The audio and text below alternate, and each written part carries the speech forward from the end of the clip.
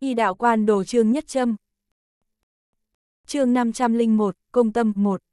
Kiều Mộng Viện vẫn ngồi ở đó, cô ta cho rằng sự yên lặng của ban đêm sẽ giúp mình bình tĩnh lại, nhưng tâm tình của cô ta biến thành càng lúc càng phiền loạn hơn, khiến cô ta cảm thấy kỳ quái là, từ sau cú điện thoại này, đầu óc của cô ta thủy chung hiện ra khuôn mặt của Trương Dương, cái khuôn mặt vô tâm vô phế đó. Kiều Mộng Viện nhắm mắt lại, thở dài một hơi, đang chuẩn bị về phòng nghỉ ngơi thì điện thoại của cô ta lại đổ chuông.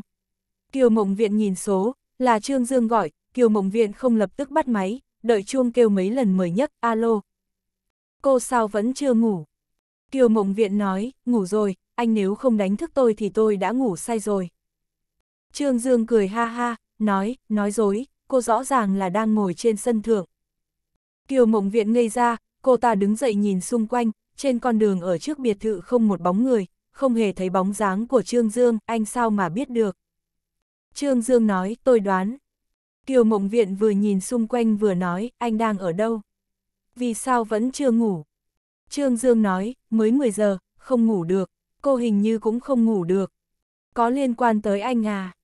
Trương Dương cười nói, dẫu sao cũng không ngủ được, hay là chúng ta ra ngoài đi dạo đi. Kiều Mộng Viện có chút kinh ngạc nói, bây giờ á? Ừ, bây giờ. Audio điện tử võ tấn bền. Kiều Mộng Viện nhìn thấy ở cửa lớn của khu nhà có ánh đèn nhấp nhánh vài cái, sau đó nghe thấy Trương Dương nói, tôi ở ngoài khu nhà, mặc ấm vào, đừng quên đi đôi giày thể thao mà tôi tặng, buổi tối lạnh lắm đấy.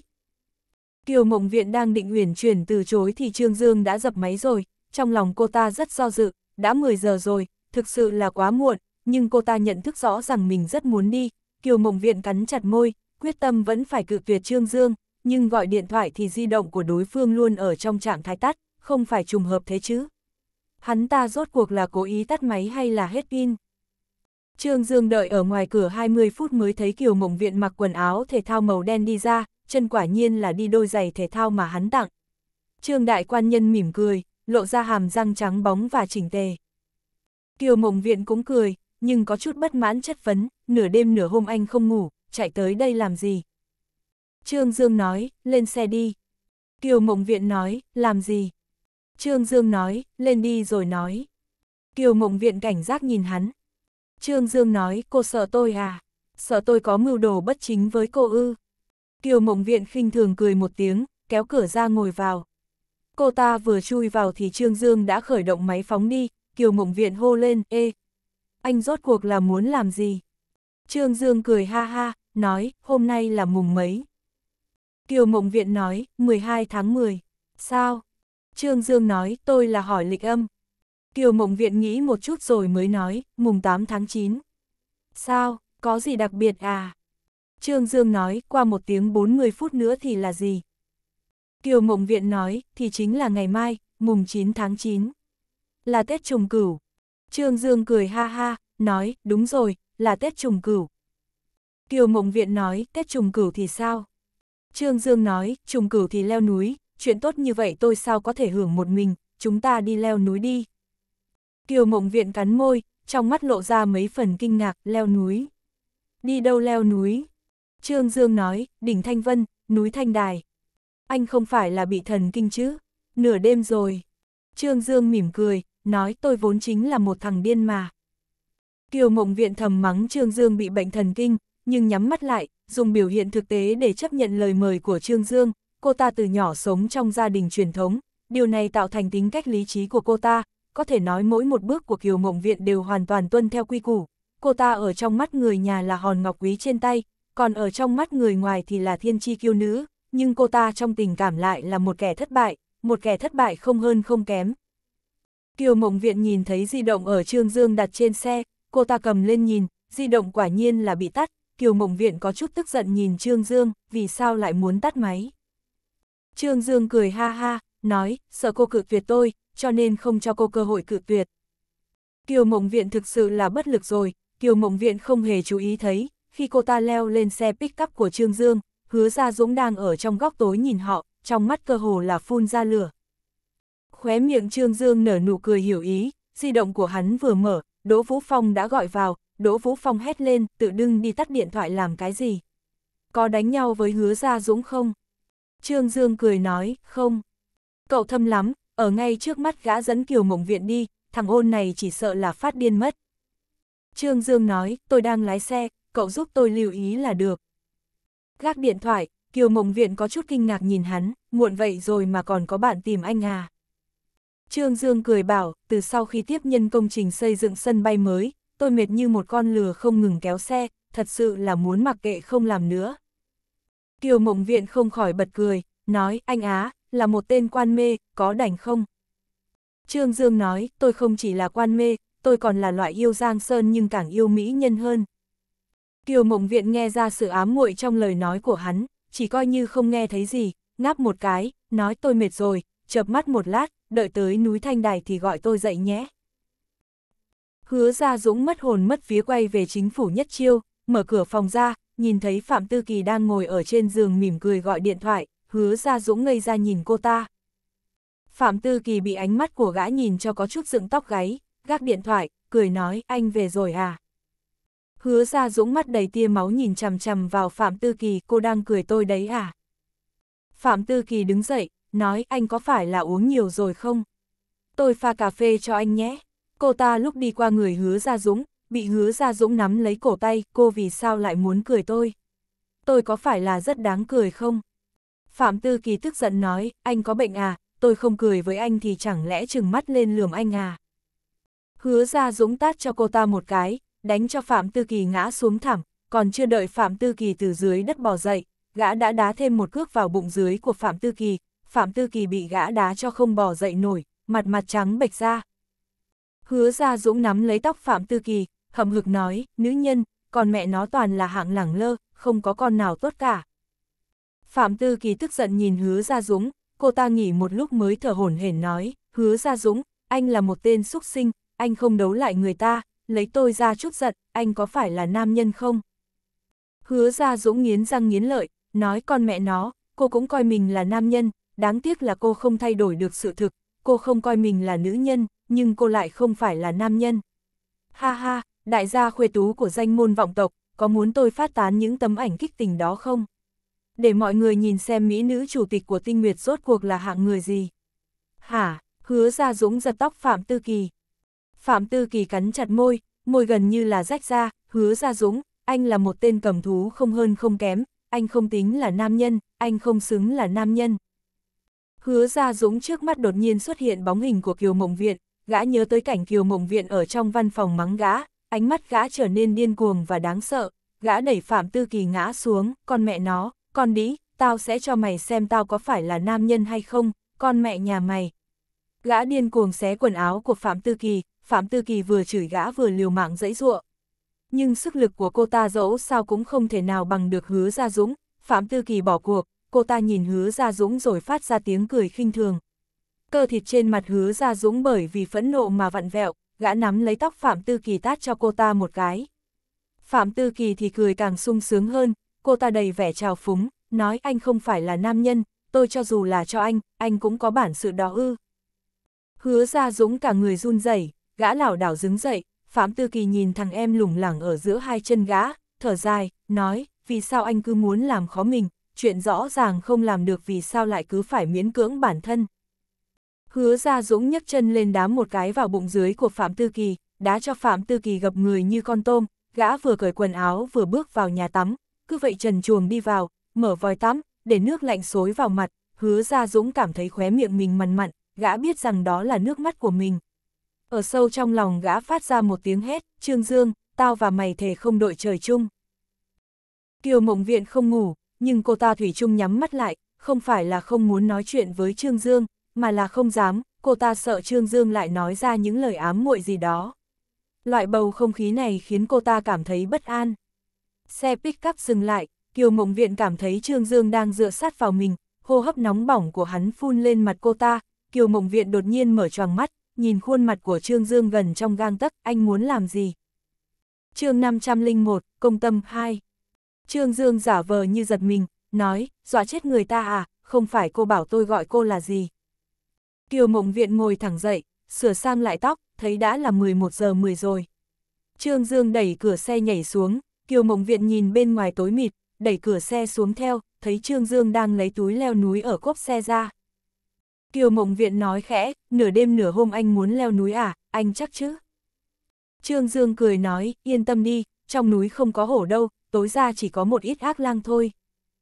Kiều Mộng Viện nói, dọa tôi à? Trương Dương khóa xe pick up kỹ càng, nhìn đồng hồ, còn 45 phút nữa, muốn trèo lên đỉnh Thanh Vân vào không giờ là không có khả năng. Nhìn thấy Trương Dương lấy một cây gậy ở trong xe ra, Trương Dương hiếu kỳ hỏi, cô mang cái này theo làm gì? Kiều Mộng Viện nói, để phòng lang.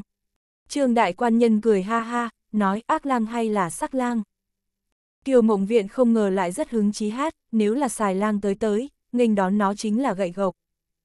Trương Đại Quan Nhân lớn tiếng hát theo, đây là tổ quốc cường đại, là nơi ta lớn lên, trên mảnh đất ấm áp này, đâu đâu cũng là ánh mặt trời tươi sáng. Thiên phú âm nhạc của Trương Đại Quan Nhân rất bình thường, sau cùng đến đoạn cao thì ngân đến là cả giọng, xấu hổ ho khan một tiếng nói âm cao quá, không lên nổi. Kiều Mộng Viện cười khúc khích, cô ta nói khẽ anh cẩn thận không lại dụ sói tới đó. Buổi tối ở vùng núi so với thành thị thì lạnh hơn nhiều, hai người đi men theo con đường đá trở lên lên dưới ánh trăng, trước tiên là thác bôn long, tiếng thác nước va vào đầm nước trong trời đêm có chút rúng động lòng người, giống như là tiếng giống của dã thú, lại giống như là sấm chấp trên không trung, Kiều Mộng Viện lúc ban đầu quả thật là có chút sợ hãi, nhưng đi ở bên cạnh Trương Dương, dẫm lên ánh trắng, dưới gió đêm mát lạnh, trong lòng cũng không khỏi nhẹ nhõm hơn.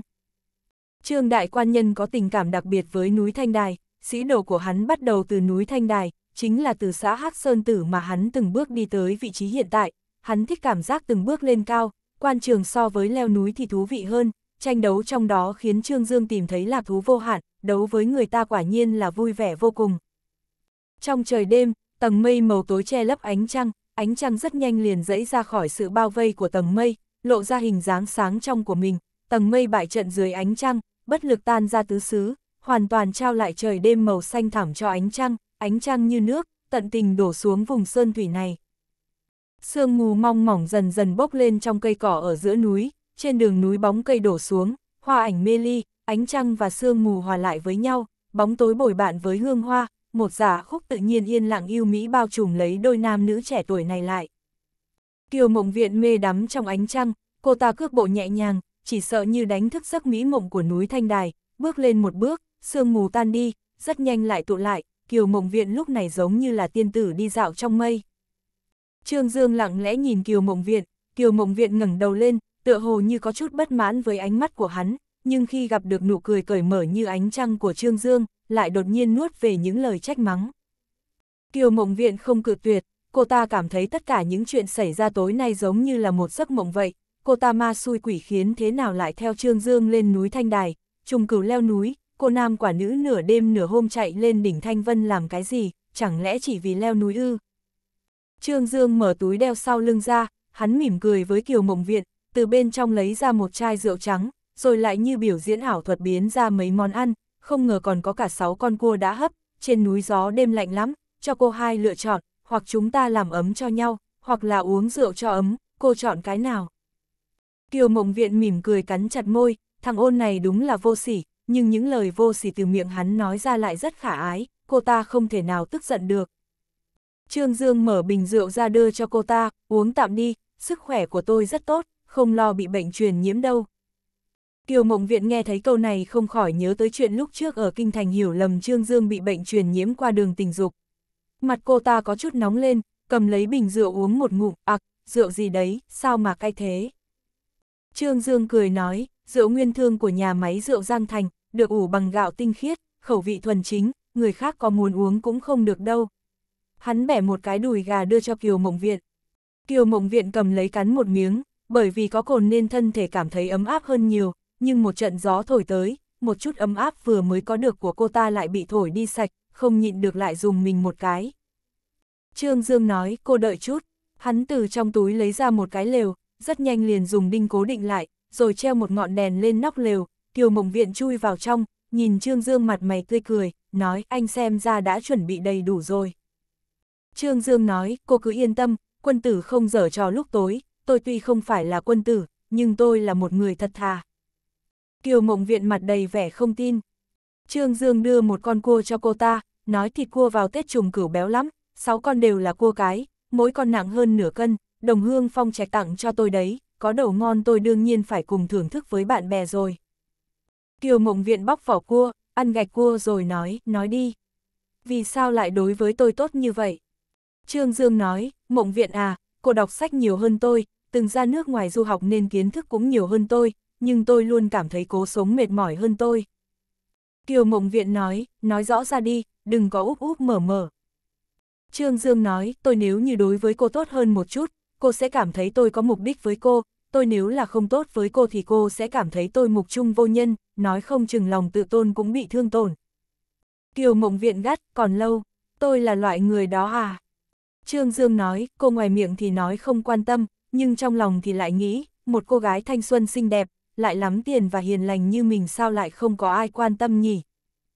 Kiều Mộng Viện bật cười, nói tôi không tốt như anh nói đâu. Trương Dương à, tôi có nói với anh rằng anh có mục đích với tôi đâu.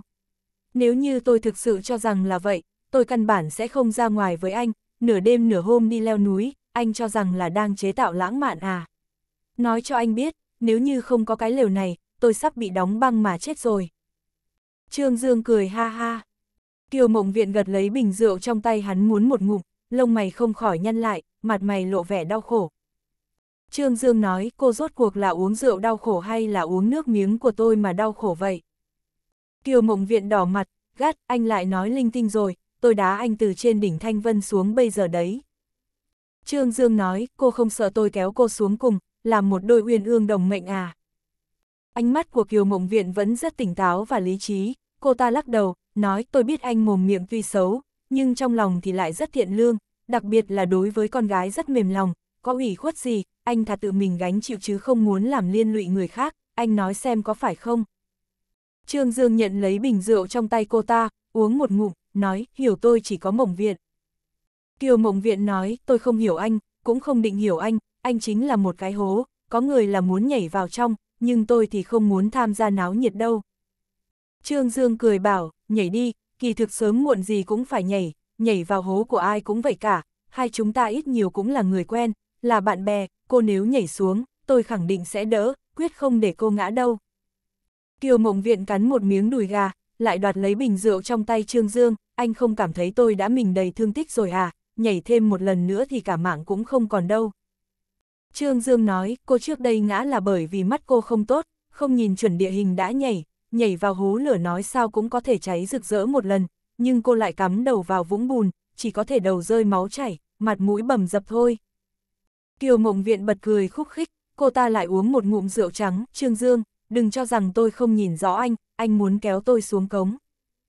Trương Dương nói, con người tôi kỳ thực rất rõ ràng, rất dễ nhìn thấu, ở trước mặt cô, tôi không bảo lưu gì cả, ngay cả quần xịp cũng không giữ lại. Kiều Mộng Viện đã có chút ngà ngà say rồi, chỉ vào mũi Trương Dương, nói, anh nói ít thôi, tôi ghét nhất là anh cứ suốt ngày nói năng linh tinh, anh có biết anh nói những lời như vậy là không tôn trọng tôi không? Trương Dương lắc đầu, nói tôi không cảm thấy vậy, tôi là tôn trọng cô nên mới nói vậy, ở trong mắt tôi cô chính là một thánh nữ, tôi cho dù là cởi chuồng, cô cũng sẽ không dùng một chút ánh mắt sắc tình để nhìn tôi, cô quá thuần khiết, tôi ở trước mặt cô căn bản chỉ là một cái dấu. chương 501, Công tâm 3 Kiều Mộng Viện nói, anh là dấu hỏi hay là dấu chấm than? Lúc ban đầu tôi cảm thấy anh rất ngay thẳng, nhưng về sau lại phát hiện anh ẩn rất sâu, rất nhiều lúc, anh máu nóng sộc lên đầu chỉ là cố ý giả vờ, cố tình lưu lại ấn tượng lỗ mãng xung động cho người ta, kỳ thực anh là muốn ngụy trang mình, che giấu âm mưu quỷ kế của mình, phải trốn dưới lớp ngụy trang này, anh mới tiện để chơi người khác. Trương đại quan nhân trừng mắt lên, nói cô nghĩ vậy về tôi à? Kiều Mộng Viện nói, nếu muốn người ta không biết thì trừ phi đừng làm, anh cười rất sáng lạn, nhưng trong lòng anh lại không có chút ánh sáng nào, anh ngoài mặt thì bất cần đời, nhưng trong lòng kỳ thật lại chú ý rất nhiều thứ. Trương Dương nói, cô đúng là càng lúc càng hiểu tôi. Vẻ mặt của Kiều Mộng Viện đột nhiên ảm đạm, con người ai cũng vậy, tôi nói anh, nhưng cũng là nói tôi.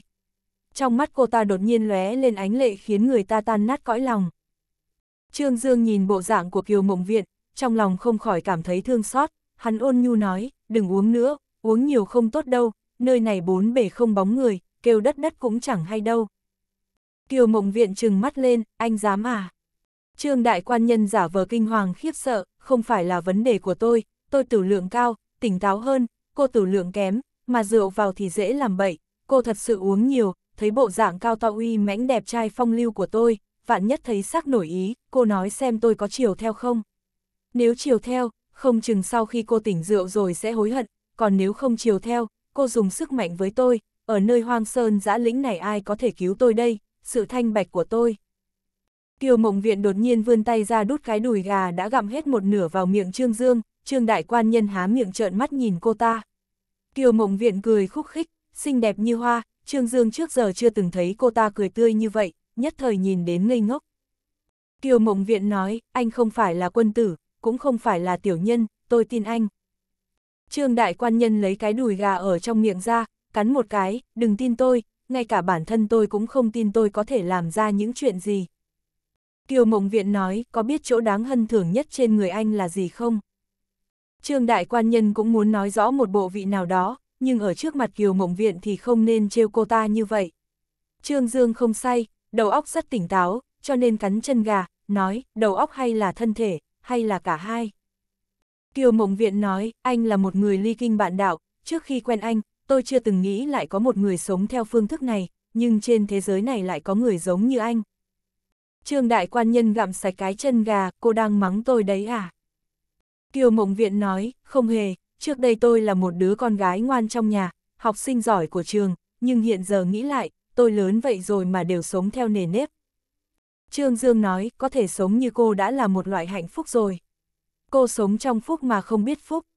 Kiều Mộng Viện nói, tôi chỉ làm trái với ý nguyện của người nhà có một lần, nhưng lại kết thúc với thất bại, hiện tại chứng minh tôi sai. Tôi thật sự thất bại. Trương Dương cười nói, cô không thất bại, ít nhất thì khi cô không ngủ được còn có người gọi điện cho cô, còn có người cùng cô leo núi, còn có người cùng cô ngắm trăng, cùng cô uống rượu, cùng cô ăn cua, cùng cô gặm chân gà, đồ cô ăn thừa còn có người ăn nốt. Kiều Mộng Viện cười khúc khích, anh đang kể công hay là đang kể khổ đó. Trương Dương nói, có lẽ hiện tại cô không cảm thấy vậy, bởi vì cô chỉ nghĩ tới sự đau khổ trong quá khứ, nhưng đợi tối nay qua rồi, cô sẽ nhớ lại hạnh phúc hiện tại, có lẽ cô sẽ hối hận, vì sao lúc trước không hưởng thụ tốt hạnh phúc của tối nay, trên thế giới này không có thuốc hối hận, cho nên, chúng ta đừng đi nghĩ tới những chuyện không vui nữa. Gió mát trăng thanh rượu ngon thức nhắm ngon, huống chi còn có một mãnh nam đẹp trai như tôi bồi bạn, trên thế giới này còn có ai hạnh phúc hơn cô không? Kiều Mộng Viện nói, tôi trịnh trọng cải chính, tối nay vốn là tôi có thể ngủ một giấc thật ngon, là anh gọi điện thoại quấy giày tôi, lái xe nằng nặc kéo tôi lên núi thanh đài không người, tôi uống gió ăn trăng cùng anh đi hai tiếng đường núi, cùng anh uống rượu, cùng anh ăn thịt. Trương Đại Quan Nhân cười khổ, nói cô rất đau khổ à. Kiều Mộng Viễn lắc đầu, trên mặt lộ ra hai cái má núm đồng tiền xinh xinh, tôi rất vui. Trương Dương nói, cô vui là tôi cũng vui. Kiều Mộng Viện nói, đúng là gió mát trăng thanh. Trương Dương nói, trước vì Mộng Viện buồn mà buồn, sau vì Mộng Viện vui mà vui, tuy cô thấy tôi thế nào, tôi cũng nguyện ý phân ưu giải nan với cô, bất kỳ lúc nào cũng được. Kiều Mộng Viện cầm bình rượu lên, uống một ngụm, nói khẽ tôi biết anh muốn khiến tôi cảm động, nhưng tôi sao không thể cảm động được nhỉ? Trương Dương nói, hơi men khiến cô trai sạn rồi, nếu không phải là do uống nhiều rượu, cô hiện tại khẳng định là nằm trong lòng tôi mà khóc lóc. Kiều Mộng Viện nói, không liên quan gì tới rượu cả, con người tôi sớm đã chai sạn rồi. Hay là giờ tôi bắt đầu uống nước, đợi tôi tỉnh lại thì anh lại làm tôi cảm động nhé. Trương Đại Quan Nhân thật lòng nói, nước càng uống càng lạnh, rượu càng uống càng ấm, tôi thà để cô cả đời này không cảm động chứ không muốn thấy cô lạnh. Kiều Mộng Viện ngây ra, đôi lông mi dài rung động như cánh bướm trong gió, một lát sau, hai giọt nước mắt sáng trọng men theo gò má chảy xuống. Trương Dương thở dài, nói tôi chỉ nói vậy thôi, đừng bị tôi lừa. Cô xem, kia thế nào lại khóc rồi kìa, cớ gì mà phải khổ thế. Kiều Mộng Viện vừa chảy nước mắt vừa nói, anh bắn cả nước bọt vào mắt tôi rồi, cay quá, cay chết tôi mất. Trương Đại Quan Nhân quẫn tới cực điểm, xấu hổ ho hai tiếng, nói thật sự xin lỗi, tôi kích động rồi, nhất thời không khống chế được, đất màu bị trôi rồi. Kiều Mộng Viện vẫn chảy nước mắt không ngừng, có dạng người như anh cả, bắn ra gì mà toàn là nước bọt cay xè, hại người ta quá. Trương Dương nói, hay là để tôi thổi giúp cô? Không cần, anh mà thổi không chừng còn cay hơn. Trương Dương nói, nước đổ khó hốt, nước bọt phun ra rồi cũng khó mà lấy lại được. Kiều Mộng Viện khó khăn lắm mới thôi chảy nước mắt, đôi mắt đẹp quả nhiên là có chút đỏ lựng. Trương Dương Giang định nói thì Kiều Mộng Viện bảo, đừng nhìn tôi, quay mặt sang một bên mà nói, tôi sợ bị anh ám toán. Trương đại quan nhân bị cô ta nói vậy, quên sạch những lời vừa rồi định nói, hắn cầm bình rượu lên uống một ngụm. Kiều Mộng Viện nói khẽ, sau khi tôi ký xong hợp đồng chuyển nhượng cổ phần, định rời khỏi Giang Thành, sau này cơ hội gặp mặt chắc ít lắm. Trương Dương trong lòng không khỏi sinh ra lưu luyến khôn tả, Giang Thành không đáng để cô thấy lưu luyến ư. Kiều Mộng Viện nói có, nhưng tôi muốn triệt để quên đi quá khứ. Chuyện đã xảy ra rồi thì vĩnh viễn không thể triệt để quên đi được, đoạn kinh lịch đó bất kể là xấu hay là tốt, đều vĩnh viễn lưu lại trong ký ức của cô, chỉ là từng đoạn kinh lịch khiến người ta thành thục hơn, khiến người ta tỉnh táo hơn, mộng viện à, ở lại đi. Đây là lần đầu tiên Trương Dương trực tiếp nói ra những lời níu kéo với Kiều Mộng Viện. Ngón tay của Kiều Mộng Viện móc móc, tỏ ý bảo Trương Dương đưa bình rượu cho cô ta, nói, lý do nói đối với tôi mà nói thì còn lâu mới đủ. chương 502, kích hóa 1 Lúc Kiều Mộng Viện thức dậy thấy mình không ngờ lại đang dựa vào đùi Trương Dương, chắc là tối qua mệt quá nên không biết đã ngủ thiếp đi lúc nào. Trương Dương ngồi khoanh chân như lão tăng nhập định, mắt nhắm lại vẫn đang ngủ say, Kiều Mộng Viện cẩn thận rời khỏi người hắn, dây dây các cổ đã tê dần, mình cứ vậy hồ đồ ngủ một đêm, căn bản không hề suy nghĩ tới nhân tố nguy hiểm mà một nữ tử cô thân phải đối diện, cô ta đột nhiên phát hiện mình hoàn toàn tin tưởng Trương Dương. Kiều Mộng Viện không đánh thức Trương Dương, kéo lều gión rén chui ra, cô ta vốn cho rằng có thể nhìn thấy mặt trời mọc, nhưng sáng sớm trên núi nhiều sương mù, căn bản là không nhìn thấy cảnh vật ở đằng xa. Kiều Mộng Viện bước về phía trước mấy bước, gió núi thổi tới, dạng đông tụ lại trong sớm chốc rồi phiêu tán, diễn dịch ra một loại hiệu quả đâm nhạt khác nhau, điều này khiến cảnh vật mà Kiều Mộng Viện nhìn thấy càng hư ảo bất định, cô ta thậm chí hoài nghi mình vẫn còn ở trong mộng, cái lạnh buổi sáng thì lại vô cùng chân thực. Kiều Mộng Viện kéo chặt cái khóa rắc kít của Trương Dương, chiếc áo rắc kít này đối với cô ta mà nói thì hơi rộng, Kiều Mộng Viện hít sâu một hơi, nhớ lại mỗi một tình tiết ngày hôm qua, bất chi bất giác lộ một nụ cười hiểu ý, ít nhất thì lúc này cô ta cũng không cảm thấy phiền não nữa. Kiều Mộng Viện bước về phía trước, đá bị sương mai thấp ướt nên rất trơn, cô ta trượt chân suýt nữa thì ngã, một cánh tay khỏe mạnh kịp thời ôm lấy eo cô ta khi cô ta sắp mất thăng bằng, chính là Trương Dương xuất hiện đúng lúc ở bên cạnh cô ta. Kiều Mộng Viện cười cười, long lanh như nắng mai, nhưng vẫn không xóa tan được sương mù trên đỉnh núi, sương mù càng lúc càng dày. Trương Dương nói, quan hải thạch là nơi rất tốt để ngắm mặt trời ló dạng khỏi biển mây, có điều cô không quen thuộc với địa hình nơi này, cẩn thận trượt chân một cái là thành thiên cổ hận đấy, bên dưới là vực sâu vạn trượng. Kiều Mộng Viện mỉm cười, nói chỉ có khi thấy nguy hiểm mới có thể cảm thấy sợ hãi. Trương Dương gật đầu, Kiều Mộng Viện nhìn đồng hồ thì thấy đã 6 rưỡi sáng rồi, cô ta nhớ tới sáng này còn phải về công ty ký hợp đồng chuyển nhượng cổ phần, liền đề nghị chúng ta thu dọn một chút, lập tức xuống núi đi, 10 giờ tôi phải tới công ty. Trương Dương nói, sao gấp thế? Đôi lông mi đen của Kiều Mộng Viện rủ xuống, nói khẽ tôi đã đáp ứng họ hôm nay ký hợp đồng chuyển nhượng cổ phần rồi. Trương Dương nói, vẫn định rời khỏi Giang Thành à. Kiều Mộng Viện không nói gì, trong đầu nhớ lại những lời níu kéo của Trương Dương tối hôm qua. Trương Dương nói, giờ sương mù dày lắm, đợi sương tan rồi về. Kiều Mộng Viện nói khẽ, vẫn thấy đường mà.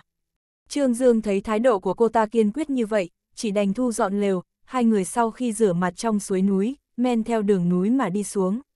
Lúc đi qua tử Hà Quan, Trương Dương quay đầu lại nhìn một cái, cửa quan vẫn đóng chặt, xem ra lão đạo sĩ Lý Tín Nghĩa vẫn đang ngủ.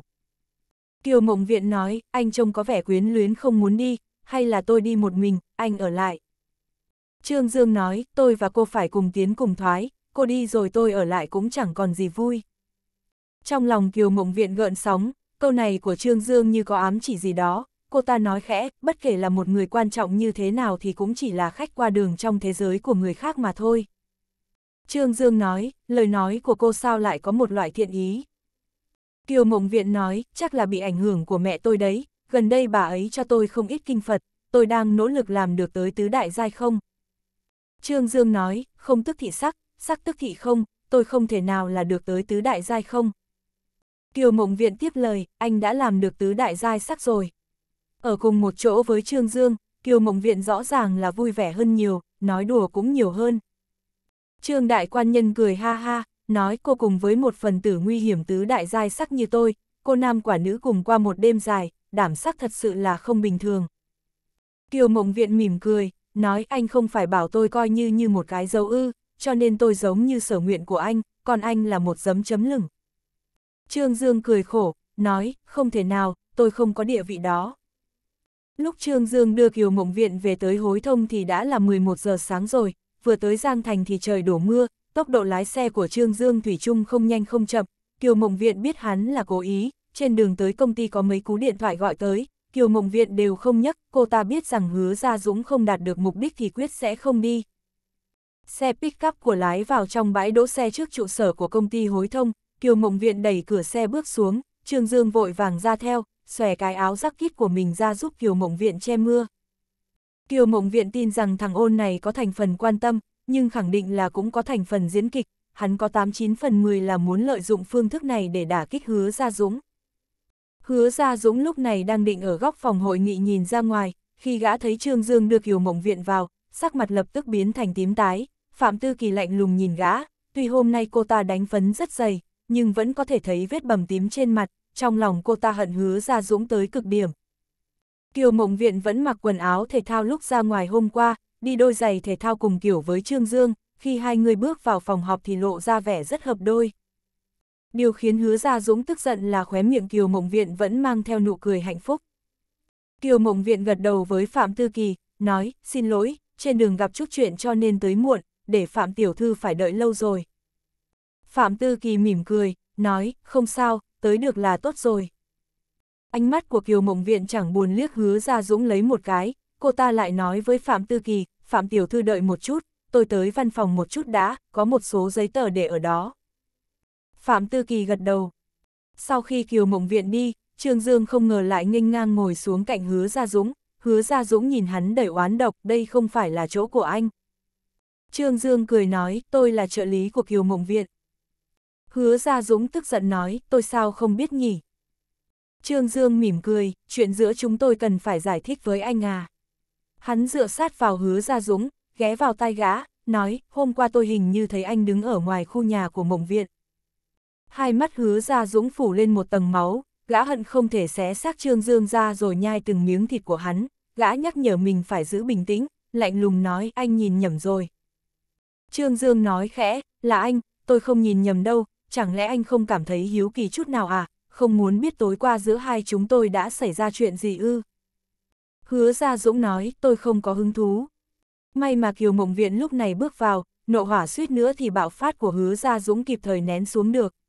Gã ý thức được lấy lại hối thông mới là điều quan trọng, Kiều Mộng Viện sớm đã không thuộc về gã, cô ta xảy ra chuyện gì, chuyện của cô ta đã không còn liên quan tới mình, hứa Gia Dũng bị ai ý thức được rằng, trong thế giới của gã chỉ còn lại hai chữ báo thù, căn bản không thể nào dung nạp được sự tồn tại của tình cảm.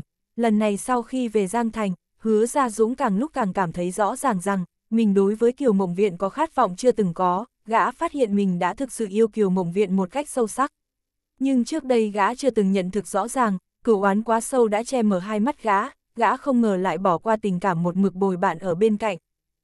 chương 502, Kích hóa 2 Hai mắt Kiều Mộng Viện rất bình tĩnh, đặt giấy tờ lên bàn, mỉm cười nói chúng ta có thể bắt đầu rồi. Hứa Gia Dũng nói, người không liên quan tới nghiệp vụ nội bộ của công ty nên ly khai. Ánh mắt của gã hướng sang Trương Dương. Phạm Tư Kỳ gật đầu phụ họa, nên là như vậy.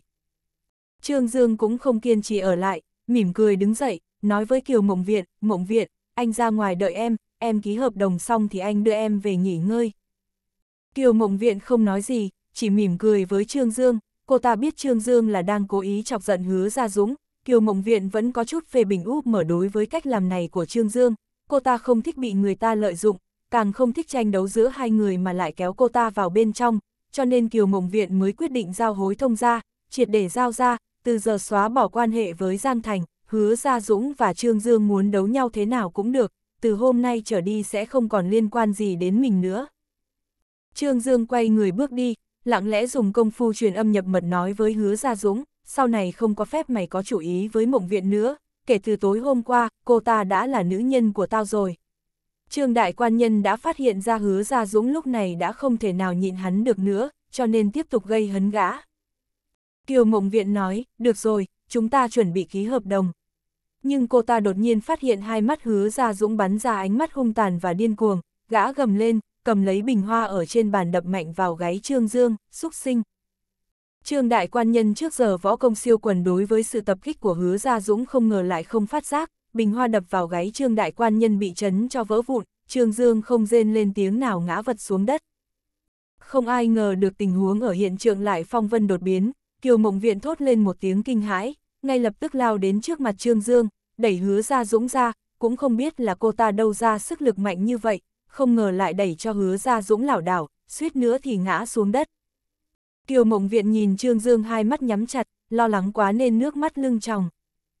Hứa ra dũng cũng ngây ra, mấy ngày nay gã bị Trương Dương bước đến sắp phát điên rồi, cả người ở bờ vực sụp đổ, mục đích mà Trương Dương nói câu vừa rồi là để kích nộ gã, hứa ra dũng cho rằng nghe khác cũng nghe thấy, nhưng Trương Đại Quan Nhân lại sử âm chiêu, dùng công phu truyền âm nhập mật, cũng chính là nói chỉ có hứa ra dũng có thể nghe thấy, người khác căn bản không nghe thấy gì, ở trong mắt người ngoài, Trương Dương đang đi ra thì hứa ra dũng bỗng dưng sông lên dùng bình hoa đập hắn. Hứa ra dũng cắn chặt môi, bước lên trước một bước, lúc này đầu óc của gã đã có chút tỉnh táo, mình cuối cùng vẫn bị Trương Dương kích nộ, vừa rồi không ngờ đã mất đi lý trí. Kiều Mộng Viện cho rằng gã lại muốn gây bất lợi với Trương Dương, rít lên cút. Cút ra ngoài cho tôi. Hứa ra Dũng nghe thấy Kiều Mộng Viện mắng mình như vậy, trong lòng đau đớn tới cực điểm, mà cũng hận tới cực điểm. Nếu như trong tay gã có súng, khẳng định sẽ bắn chết Trương Dương. Phạm Tư Kỳ bước lên kéo gã lại, ái náy nói, xin lỗi, Gia Dũng quá xung động rồi. Kiều Mộng Viện nhìn Phạm Tư Kỳ rồi lại nhìn hứa Gia Dũng, găng từng chữ các người nghe cho rõ đây, cổ phần của hối thông tôi sẽ không chuyển nhượng đâu. Hứa Gia Dũng tức giận nói, nhưng lúc trước cô đã đáp ứng rồi. Kiều Mộng Viện nói, hứa Gia Dũng, hối thông không phải là của một mình anh, tôi vốn muốn giao lại hối thông cho anh, nhưng thấy hành động của anh hiện tại, anh và một thằng điên có khác gì nhau không? Vì cừu hận mà anh có thể bất chấp tất cả, tôi không thể nào lấy vận mệnh của mấy ngàn nhân viên của hối thông ra mạo hiểm, tôi nghĩ kỹ rồi, tiền vốn của anh tôi sẽ trả lại cho anh không thiếu một xu, tiền lãi mà anh nên được nhận cũng sẽ nhất định trả đủ, nhưng anh nhớ cho kỹ, tôi sẽ không giao hối thông cho anh, tuyệt đối không đâu.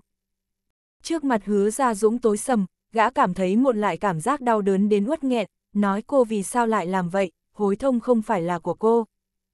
Gã nghe thấy Trương Dương nói khẽ, mày chính là một thằng ngu, cút ra xa cho tao. Hứa ra dũng gầm lên, Trương Dương, mày có thể biểu hiện như một nam nhân không, cùng tao đường đường chính chính giải quyết chuyện này, dùng thủ đoạn ti bỉ như vậy để lừa mộng viện làm gì, mày không phải là người. Những lời này ai nói cũng được nhưng tuyệt không đến lượt gã nói. Sáu bảo vệ sau khi nhận được tin tức liền xông vào phòng họp, Kiều Mộng Viện không chút khách khí, nói, mời họ ra ngoài, hối thông không hoan nghênh họ, sau này quyết không cho phép họ được bước nửa bước vào hối thông. Trương Đại Quan Nhân trong lòng sung sướng vô cùng, hắn một lòng muốn ngăn cản Kiều Mộng Viện nhượng lại cổ phần của hối thông cho hứa Gia Dũng, nghĩ đi nghĩ lại sau cùng nghĩ ra âm chiêu này, nhưng Trương Dương vẫn có chút hối hận, cảm giác mình đã lợi dụng sự thiện lương của Kiều Mộng Viện, lợi dụng sự quan tâm của cô ta đối với mình, nhưng nếu không làm vậy thì Kiều Mộng Viện kiểu gì cũng giao lại hối thông cho hứa Gia Dũng, hắn không thể trơ mắt nhìn cơ nghiệp mà Kiều Mộng Viện khổ cực sáng lập ra bị hứa Gia Dũng đoạt mất. Trương Đại Quan Nhân giải thích với bản thân rằng đây chính là sự lừa gạt đầy thiện ý. Hứa Gia Dũng tức giận đến cực điểm, gã gầm lên với Kiều Mộng Viện, Mộng Viện, cô mở mắt to ra mà nhìn Đinh, hắn là một thằng hỗn đản, hắn đang lừa cô, hắn căn bản là đang giả vờ. Kiều Mộng Viện lạnh lùng nói, tiễn khách. Phạm Tư Kỳ thở dài, cất bước rời khỏi phòng họp, hứa Gia Dũng cũng bị bảo vệ lôi kéo đẩy ra ngoài. Hứa Gia Dũng đã mất đi sự hàm dưỡng ngày trước, gã chửi mắng Trương Dương cực kỳ ác độc, nhưng vận xui của gã ngày hôm nay vẫn chưa hoàn toàn kết thúc, vừa ra khỏi cửa lớn của hối thông thì ba chiếc xe cảnh sát đã cản đường gã. Đỗ Phú Phong mặc cảnh phục uy nghiêm bước tới trước mặt hứa Gia Dũng, chính nghĩa lẫm liệt nói, hứa Gia Dũng, anh bị hiềm nghi làm tổn thương hại người khác, hiện tại chúng tôi muốn bắt anh, đây là lệnh bắt, xin theo chúng tôi về hiệp trợ điều tra. Hứa Gia Dũng hậm hực nhìn Đỗ Vũ Phong, anh có chứng cứ gì? Anh dựa vào gì mà bắt tôi? Đỗ Vũ Phong cười chế giễu, nói, dựa vào tôi là cảnh sát của nước Cộng hòa Nhân dân Trung Hoa, anh phạm trội trên lãnh thổ Trung Quốc, tôi bắt anh là thiên kinh địa nghĩa. Hứa Gia Dũng nói, tôi muốn tố cáo anh, anh thì tính là cảnh sát gì chứ, anh và Trương Dương là cùng một bọn, hãm hại tôi. Đỗ Vũ Phong cười nói, hãm hại anh ư, anh xứng à. Ẩu đả nhân viên công tác của chính phủ, gan của anh to đấy, theo tôi về rồi nói. Trương Dương chậm rãi mở hai mắt ra, vẻ mặt hoang mang, thấy biểu tình quan tâm trên mặt Kiều Mộng Viện, hắn cố ý giả vờ kinh ngạc, vừa rồi xảy ra chuyện gì vậy? Đôi mắt trong sáng như nước của Kiều Mộng Viện nhìn Trương Dương, cô ta lập tức phát giác ra được thành phần biểu diễn trong đó, nếu như là người khác thì cô ta sẽ tin, nhưng võ công của Trương Dương thì cô ta biết rõ, một người có thể đánh với cả đám cao thủ bát quái môn, một người dám đơn thương độc mã xông vào trụ sở quân khu sao lại có thể bị hứa ra dũng đánh ngã được. Kiều Mộng Viện nói khẽ, anh không sao thì tốt rồi, về nghỉ ngơi đi. Nói xong cô ta đứng dậy bước tới phòng làm việc. Sự quan tâm vừa rồi của Kiều Mộng Viện đối với Trương Dương là thật lòng, nhưng lập tức cô ta lại nghĩ tới Trương Dương lần này bị đánh ngã có thành phần ngụy trang ở bên trong, Kiều Mộng Viện không điểm phá, nhưng trong lòng lại cảm thấy mất mát vô cùng.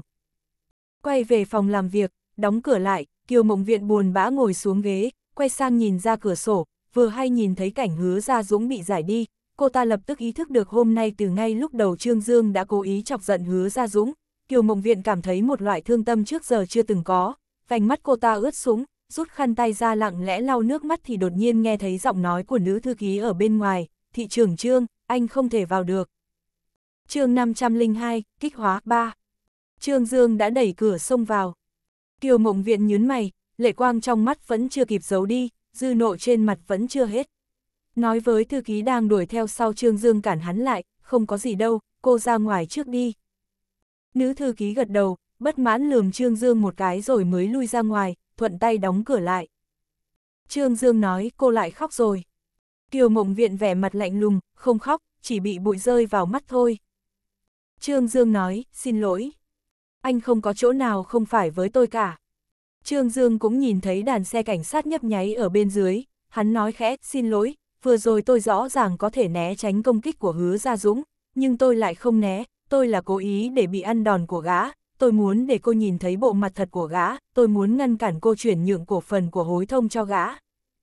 Kiều Mộng Viện xịt mũi một cái, cô ta rõ ràng cảm thấy ủy khuất, Kiều Mộng Viện nói, nếu như mục đích của anh là vậy thì chúc mừng anh, anh đã đạt được mục đích rồi. Trương Dương nói, tôi không muốn lừa cô. Kẻ lừa đảo thường thường sẽ ngụy trang rất thành thật, nhưng những gì mà miệng anh nói lại không có câu nào là thật cả. Trương Dương nói, tôi không biết làm thế nào để ngăn được cô, hối thông là tâm huyết của cô, tôi muốn nhìn thấy cơ nghiệp mà cô khổ sở sáng lập ra lại bị tên gia hỏa âm hiểm đó cướp đi. Kiều Mộng Viện nhìn Trương Dương, tình tự của cô ta đột nhiên biến thành phẫn nộ và kích động, Trương Dương. Anh có biết tôi vì sao muốn từ bỏ hối thông không? Bởi vì tôi không muốn bị kẹp ở giữa anh và hứa gia dũng, để rồi bị hai người lợi dụng, các anh hận nhau, các anh giống như hai con chó muốn cắn xe nhau, các anh tự mình đánh nhau thế nào thì không liên quan tới tôi. Nhưng vì sao nhất định phải kéo tôi vào, vì sao nhất định muốn lợi dụng tôi? Trương Dương không có gì để nói. Vành mắt Kiều Mộng Viện đỏ lưỡng lên, kỳ thực tôi hôm nay trên đường về Giang Thành, tôi đã hạ quyết tâm rồi, tôi quyết định giữ lại hối thông, ở lại Giang Thành, tôi biết mục đích mà hứa ra dũng giành lại hối thông không đơn thuần, gã căn bản không muốn hối thông phát triển thành lớn mạnh hơn, mà chỉ muốn coi hối thông là công cụ báo thù của gã, tôi không muốn hối thông trở thành vũ khí của gã, không muốn mấy ngàn công nhân viên trở thành pháo hôi của gã, cũng không muốn Giang Thành trở thành chiến trường giữa anh và gã. Trương Dương nói, cô hiểu được là tốt rồi. Kiều Mộng Viện tức giận nói, tôi không hiểu, tôi không hiểu nam nhân các anh vì sao lại giỏi lừa đảo đến vậy, chứ nói dối lừa đảo ra, các anh còn giỏi cái gì nữa. Anh luôn miệng nói rằng là bằng hữu của tôi, khăng khăng đòi cùng tôi cùng tiến cùng thoái, nhưng anh đã làm gì? Hứa ra dũng tì bỉ, nhưng anh cũng chẳng hơn gã được là bao, anh có ý thức được rằng chuyện mình làm cũng giống như gã không? Trương Dương nói, hắn lừa đảo là để lợi dụng, là để báo thù, còn tôi là vì bảo vệ cô. Tôi là có thiện ý. Tôi không cần. Trương Dương đầy vẻ thương xót nhìn Kiều Mộng Viện, nói, xin lỗi, tôi biết hành vi của tôi là không đủ quang minh chính đại, nhưng tôi thật sự quan tâm cô, hứa Gia Dũng là một thằng điên, tôi sợ gã sẽ gây bất lợi cho cô, tôi sợ gã sẽ gây bất lợi cho người nhà và bạn bè của tôi, bất kể là dùng thủ đoạn gì, tôi cũng phải đánh bại gã, triệt để đánh ngã gã, bắt gã phải rời khỏi nơi này. Kiều Mộng Viện lạnh lùng nói, chuyện giữa các người không liên quan gì tới tôi, tôi cũng không cảm thấy hứng thú gì cả, hiện tại, trước khi tôi gọi bảo vệ, anh tự đi đi. Trương Dương gật đầu, lùi từng bước ra ngoài, khi đi tới ngoài cửa, hắn nói khẽ tối qua tôi rất vui. Kiều Mộng Viện nhìn cửa phòng làm việc từ từ đóng lại, nhất thời không nén được bi thương, nằm trên bàn làm việc khóc thút thít. Hứa ra Dũng bị dẫn tới phòng thẩm vấn, Đỗ Vũ Phong một mình dẫn gã vào, đóng cửa phòng lại, Đỗ Vũ Phong kéo ghế ngồi đối diện hứa ra Dũng, híp mắt lại quan gắt gã. Hai tay hứa ra dũng bị bẻ ngược ra sau, gã tức giận nhìn Đỗ Vũ Phong, nói anh tốt nhất hay thả tôi ngay đi, vợ của tôi là chủ tịch tập đoàn tinh nguyệt của Singapore, đơn xin nhập tịch của tôi rất nhanh thôi sẽ được phê chuẩn, anh bắt tôi là sẽ tạo thành ảnh hưởng quốc tế đấy. Đỗ Vũ Phong cười nói, ai quan tâm chứ? Hứa Gia Dũng nói, tôi muốn mời luật sư. Đỗ Vũ Phong nhắc nhở gã, đây là Trung Quốc, đừng có mang những thứ học được ở bên ngoài ra đùa với tôi. Gã đứng dậy, đi lấy rùi cui treo trên tường. Trong mắt hứa Gia Dũng lộ ra một tia sợ hãi, anh muốn làm gì? Anh nếu biết pháp mà phạm pháp, tôi sẽ kiện anh đó.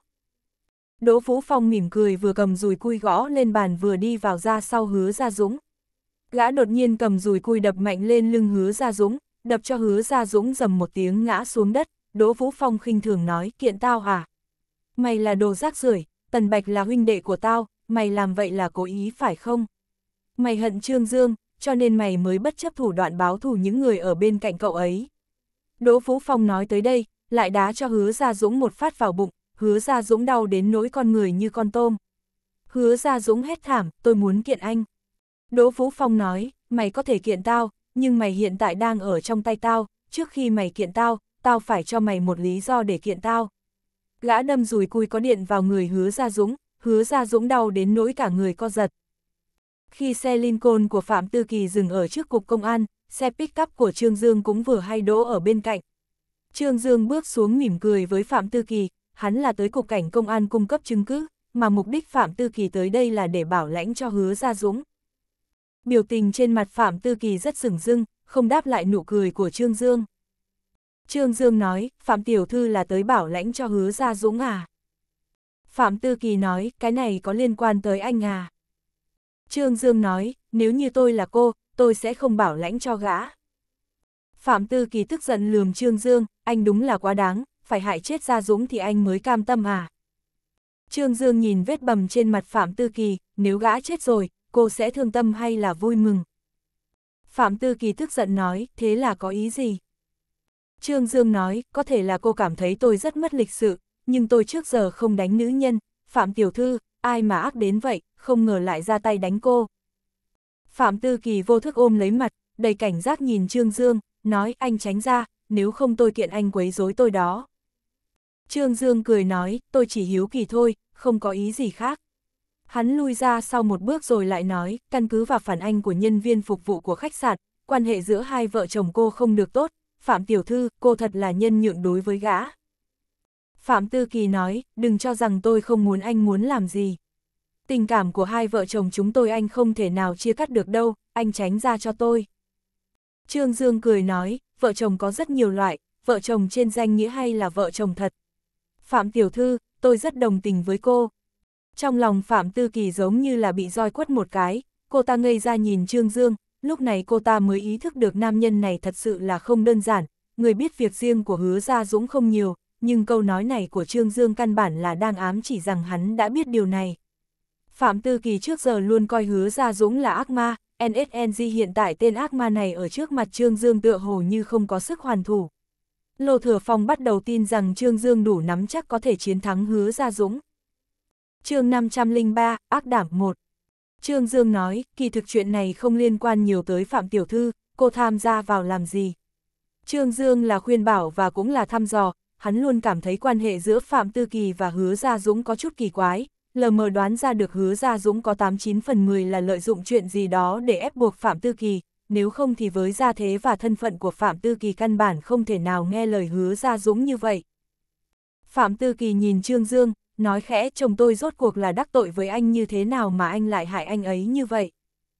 Trương Dương nói, không phải là tôi hại gã, là bản thân gã tự chuốc lấy thôi, các người không sống những ngày tháng êm đềm ở Singapore, chạy tới Giang Thành này làm gì.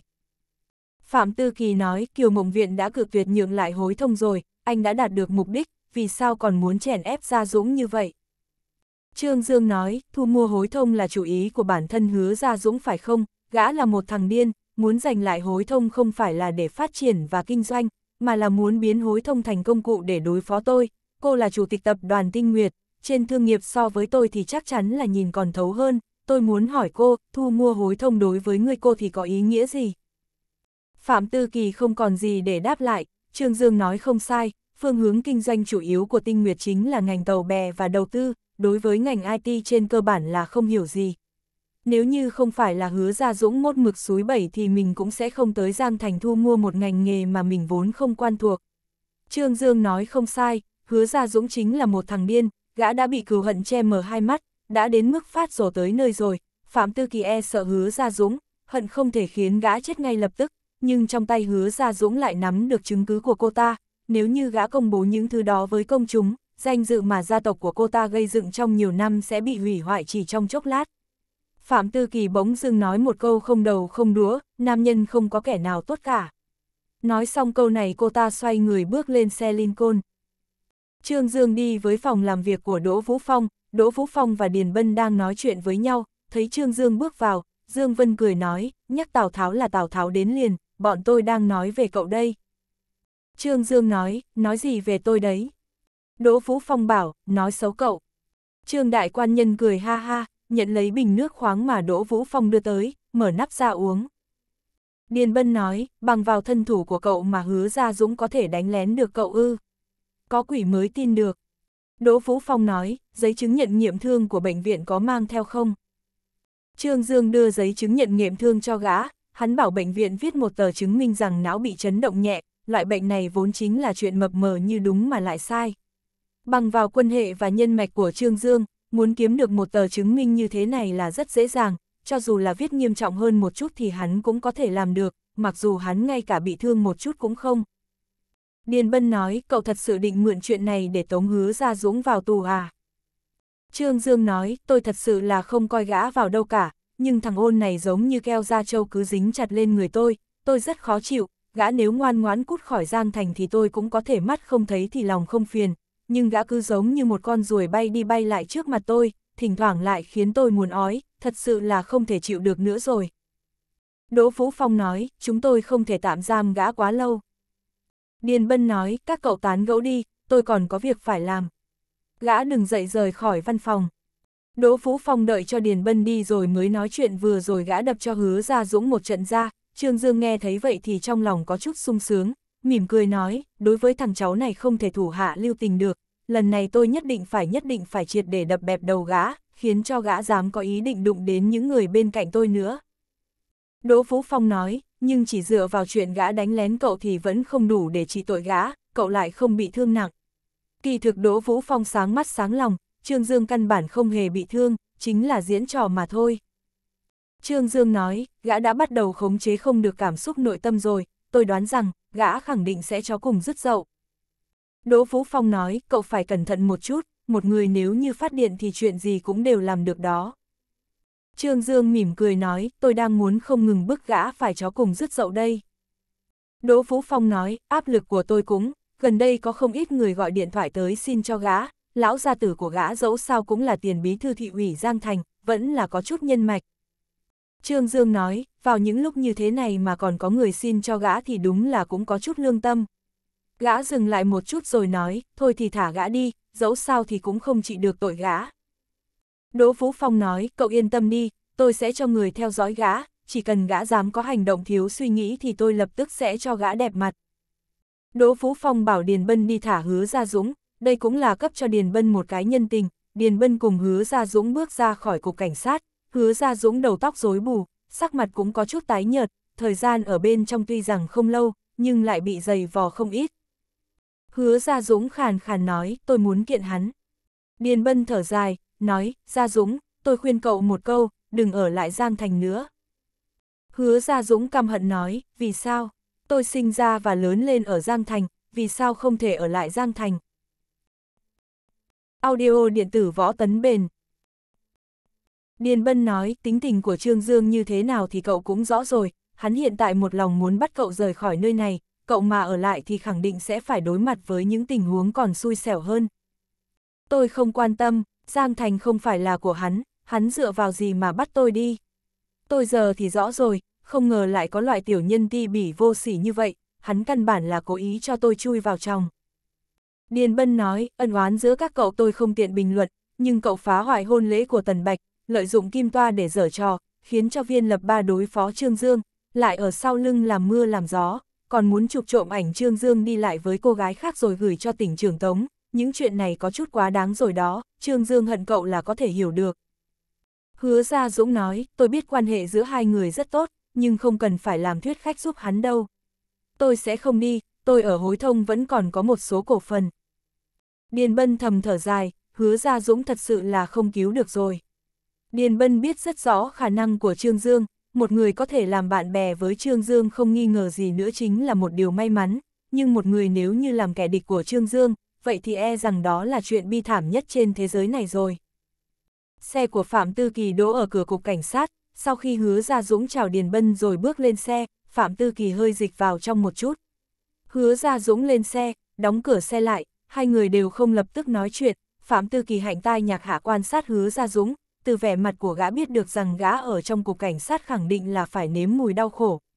Phạm Tư Kỳ chỉ mong sao gã chết quách ở trong cục cảnh sát, từ đó mà bốc hơi khỏi nhân gian, đừng làm phiền cô ta nữa. Nhưng những lời này chỉ có thể giấu ở trong lòng chứ không thể nào nói ra ngoài được. Phạm Tư Kỳ nói Kiều Mộng Viện thật sự đã quyết định đổi ý, cô ta muốn giữ lại cổ phần của hối thông trong tay. Hứa ra dũng ừ một tiếng, cầm lấy điện thoại di động mà Phạm Tư Kỳ đưa, sau khi mở ra không lâu thì hải sắt phu nhân gọi tới.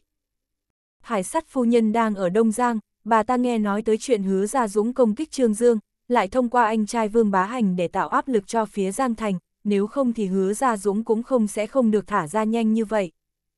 chương 503, ác đảm 2 Hứa Gia Dũng rất lễ phép chào, gì hải sắt.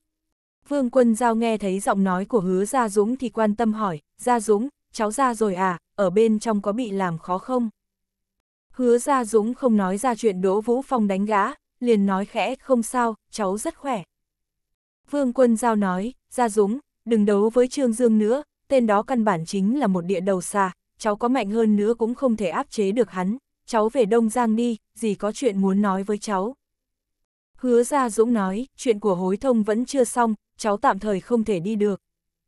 Vương quân giao thở dài, nói, Gia Dũng, không phải là cô nói cháu đâu, cháu để tâm vào sinh ý đi, tranh đi đấu lại với Trương Dương thì có gì hay. Hứa Gia Dũng nói, cháu không tin loại người này có thể may mắn cả đời, cháu tin ông trời công bằng, loại người này rồi sẽ có lúc gặp xui xẻo. Vương quân giao tận tình khuyên bảo, hắn là hắn còn cháu và cháu, dì thân là trưởng bối của cháu, thật là là không đành lòng nhìn thấy cuộc sống của cháu cứ mãi chìm ngập trong thù hận.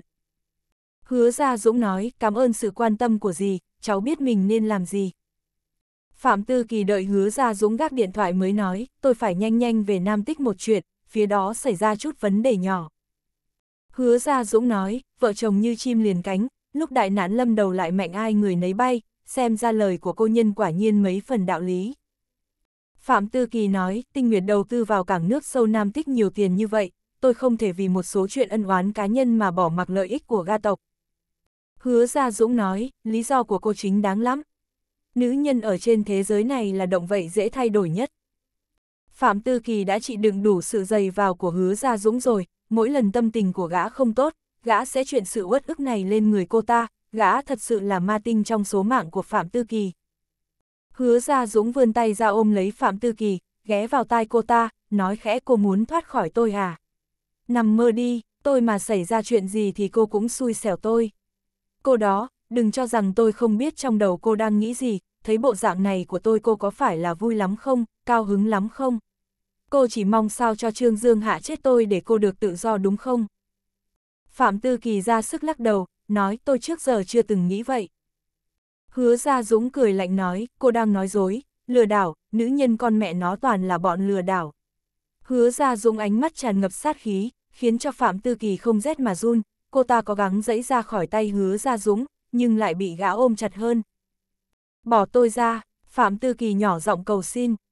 Hứa ra Dũng chậm rãi lắc đầu, chỉ cần tôi còn một hơi thở, cô hãy thật thà mà nghe lời tôi, nếu không.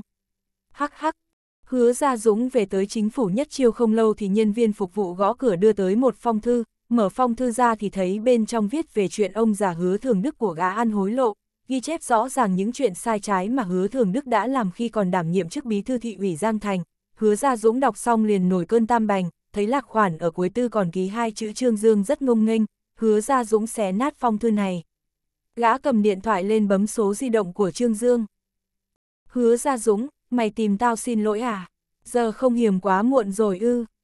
Ngữ khí lề dề của Trương Dương khiến cho hứa Gia Dũng càng khó chịu hơn, gã cầm lên, xin lỗi mày à, trừ phi tao chết, tao thật sự hối hận, lúc đó vì sao không dùng sức hơn một chút, vì sao không đập chết thằng ôn mày.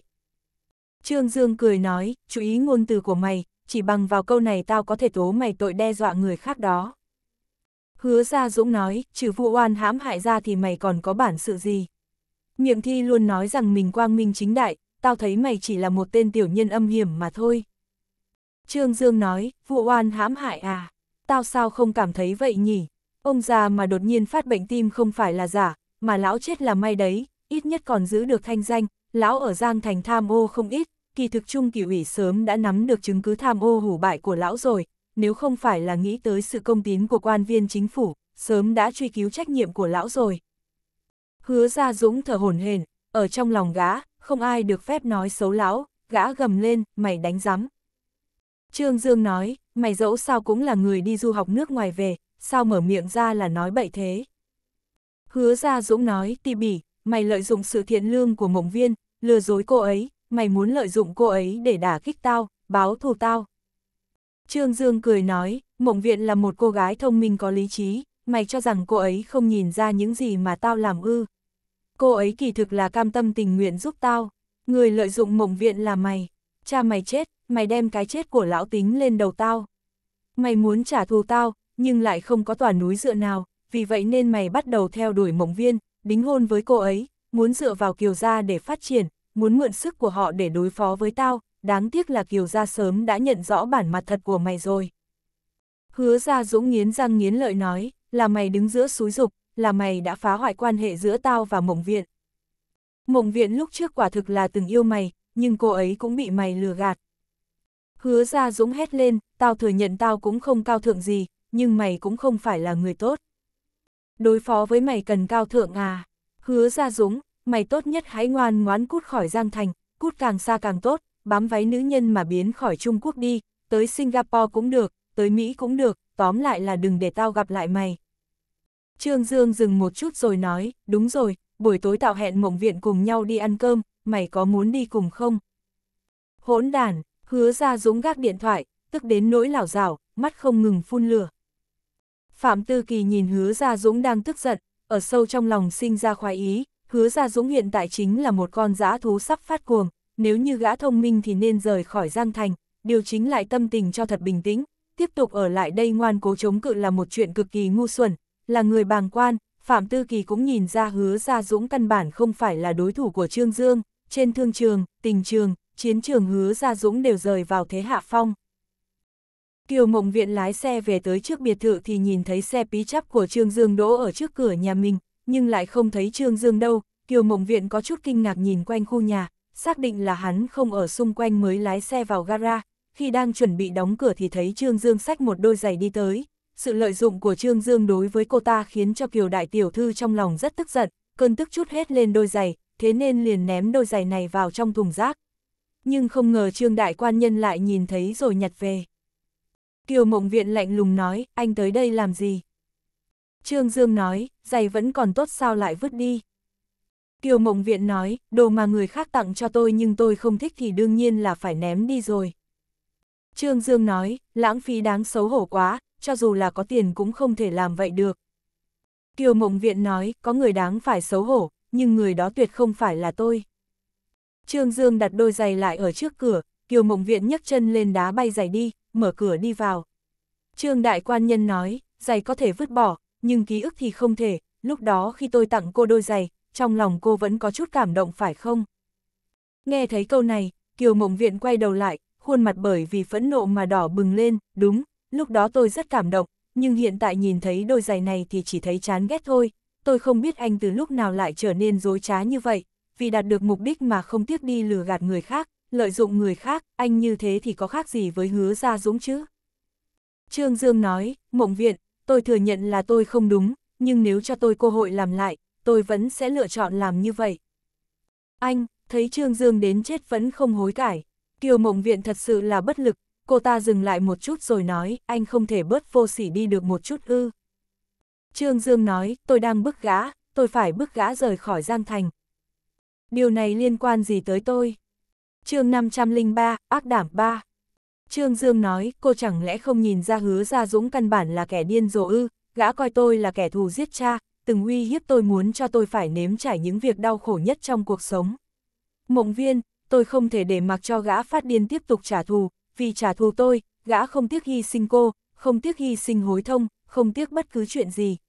Gã căn bản không biết hối cải, tôi lo cô sẽ bị gã thương tổn. Kiều Mộng Viện giận dữ ngắt lời Trương Dương, người thương tổn tôi không phải là gã mà là anh.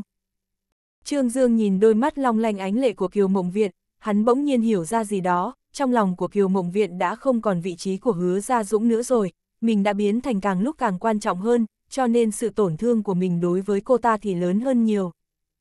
Trương Dương nói, Mộng Viện, tôi sau này sẽ không lợi dụng cô nữa, chúng ta vẫn có thể làm bạn bè chứ. Kiều Mộng Viện chậm rãi lắc đầu, anh để tôi bình tĩnh lại đã. Tôi không muốn gia nhập vào trong thị phi của anh và hứa ra dũng. Trương Dương gật đầu, quay người bỏ đi. Kiều Mộng Viện nhìn chiếc xe pick-up biến mất khỏi tầm mắt của mình rồi mới quay người mở cửa, trước khi bước vào phòng, cô ta lại nhớ ra gì đó, cúi xuống nhặt đôi giày thể thao lên, lại phát hiện bên trong giày có đút một tờ giấy, bên trên viết yêu em. Kiều Mộng Viện cắn chặt môi, trong mắt lại giống như hồ nước gợn sóng trong gió thoảng. Phạm Tư Kỳ chủ động hẹn gặp Trương Dương, biểu hiện của hứa Gia Dũng khiến cô ta càng lúc càng cảm thấy sợ hãi, cô ta sợ hứa Gia Dũng đồng thời vào lúc tự hủy mình cũng sẽ kéo cô ta xuống vực sâu. Trương Dương rất lễ phép cười nói, Phạm Tiểu Thư thích cà phê hay là trà? Phạm Tư Kỳ nói, cà phê, không bỏ đường. Trương Dương bảo nhân viên một tiếng. Phạm Tư Kỳ có chút bất an nhìn ra ngoài cửa sổ, bọn họ đang ngồi trên tầng 2 của quán trà thanh tâm, từ đây có thể nhìn thấy cảnh sắc tươi đẹp của Hồ Nhã Vân, lúc gần hoàng hôn, ánh nắng của tịch dương rải xuống mặt hồ, gió nhẹ thổi khẽ, mặt hồ lăn tăn gợn sóng, nhất thời cả hồ ánh lên vẩy bạc, tâm tình của Phạm Tư Kỳ lúc này cũng có chút không bình tĩnh. Trương Dương nhìn ra điều này, không khỏi cười nói, Phạm Tiểu Thư yên tâm, không có ai theo dõi cô đâu. Phạm Tư Kỳ thở vào một hơi, cầm tách cà phê lên uống một ngụm, nhíu mày, mùi vị của cà phê này không được tốt lắm, rất là đắng. Trương Dương nói, không uống được à, để tôi bảo họ đổi. Phạm Tư Kỳ lắc đầu, nói, bỏ đi, tôi chỉ muốn nói mấy câu rồi đi ngay. Trương Dương nói, cô nói đi, tôi nghe đây. Phạm Tư Kỳ nói, gã, gã sắp bị anh bước đến phát điên rồi, thị trưởng Trương, anh có thể dừng tay không? Trương Dương uống một ngụm trà, nói cô nên nhận rõ, người nên dừng tay là gã chứ không phải là tôi. Phạm Tư Kỳ nói, gã cho rằng anh đã hủy đi tất cả của gã, gã hận anh. Tôi biết, tôi cũng không muốn tính toán với gã, nhưng căn cứ vào tình hình hiện tại cho thấy, gã sẽ không từ bỏ sự cừu hận đối với tôi. Phạm Tư Kỳ nói, nhưng nếu cứ tiếp tục như vậy thì gã sẽ phát điên, sẽ sụp đổ. Gã sẽ bất chấp tất cả.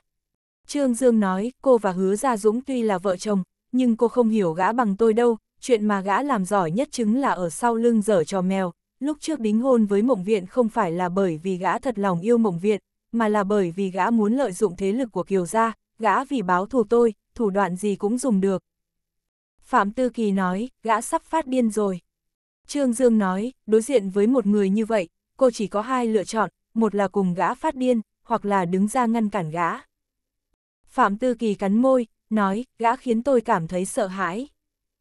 Trương Dương đi thẳng vào vấn đề, Phạm Tiểu Thư, cô đã có thể chủ động hẹn tôi ra ngoài, tôi nói chuyện cũng không cần phải vòng vo làm gì, hứa ra dũng trên sinh lý có bệnh, hai người căn bản chỉ là phu thê trên danh nghĩa, tôi không biết tình cảm gì có thể khiến cô tiếp nhận gã, tiếp nhận một cuộc hôn nhân không có tình yêu, cô không phải là bị hắn uy hiếp chứ. Phạm Tư Kỳ biến sắc, cô ta không ngờ Trương Dương lại điểm phá chân tướng của sự việc, cô ta run giọng nói tôi không biết nên làm gì. Trương Dương nói tôi có thể giúp cô. Phạm Tư Kỳ lắc đầu, nói anh không giúp được tôi đâu. Trương Dương nói, một người nếu lùi bước thì chỉ có thể càng lún càng sâu, Phạm Tiểu Thư muốn cả đời bị người ta uy hiếp ư. Hắn đồng tình nhìn Phạm Tư Kỳ một cái, nói, vĩnh viễn không thể tin gã sẽ có lương tâm mà bỏ qua cho cô. Phạm Tư Kỳ nói, gã rất tài hoa, chính bởi vì hân thưởng năng lực của gã mà tôi mới nhận gã vào trong công ty của tôi, và giao cho những trọng trách, nhưng tâm tư của gã lại không đặt trên công việc, mà là... Cô ta dừng lại một chút, mất rất nhiều nỗ lực mới nói ra được, gã tiến vào tinh nguyệt chỉ là để tiếp cận và tìm hiểu tôi, gã sai người theo dõi tôi, phát hiện những bí mật của tôi, và lấy chúng ra để uy hiếp tôi. Trương Dương hỏi, cô vì sao không tố cáo gã? Phạm Tư Kỳ đau khổ vô cùng, nói tôi không dám, tôi không thể mang danh dự của gia tộc ra đánh cuộc. Trương Dương thở dài, Phạm Tư Kỳ không nghi ngờ gì nữa cũng là một người bị hại, hứa Gia Dũng thật đúng là hỏa hại, bất kể là Phạm Tư Kỳ có bí mật gì, nhưng đó là chuyện của người ta, hứa ra Dũng lợi dụng thứ mà gã nắm trong tay để uy hiếp Phạm Tư Kỳ, loại người này thực sự là quá ti bỉ. Trương Dương nói, biện pháp duy nhất có thể ngăn cản gã chính là tống gã vào tù. Phạm Tư Kỳ nói, tôi sợ gã không những hủy đi bản thân gã mà còn hủy cả tôi. Trương Dương nói, không đâu, gã không có bản sự đó. Phạm Tư Kỳ hạ quyết tâm, đưa một tờ giấy đã chuẩn bị trước cho Trương Dương, Trương Dương mở ra đọc, bên trên là một dãy số tài khoản ngân hàng. Phạm Tư Kỳ nói, gã bảo tôi gửi 300 vạn vào tài khoản ngân hàng này, tôi lo lắng gã có thể gây bất lợi cho anh, chuyện cụ thể thì tôi không biết, tôi chỉ có thể giúp anh được vậy thôi. Trương Dương gật đầu. Phạm Tư Kỳ đứng dậy, cô ta chuẩn bị đi, trước khi đi lại ghé vào tai Trương Dương, nói tôi thật sự rất muốn gã phải chết. Giọng nói của cô ta tuy rất nhỏ, nhưng bên trong lại tràn đầy cừu hận khắc cốt ghi tâm. Muốn tra ra nơi hạ lạc của chỗ tiền này, Trương Dương chỉ có thể nhờ Quốc An giúp đỡ, phía Quốc An rất nhanh liền có tin tức phản hồi, sau khi chỗ tiền này được gửi vào tài khoản, lập tức bị chuyển đi, qua mấy vòng cuối cùng được đưa ra chỗ của một nữ nhân tên là Dương Quế Vân. Nữ nhân này không hề có bất kỳ lịch sử phạm tội nào, nhưng có một điều vẫn khiến Trương Dương chú ý. Chồng trước của Dương Quế Vân chính là Trịnh thảo Quốc.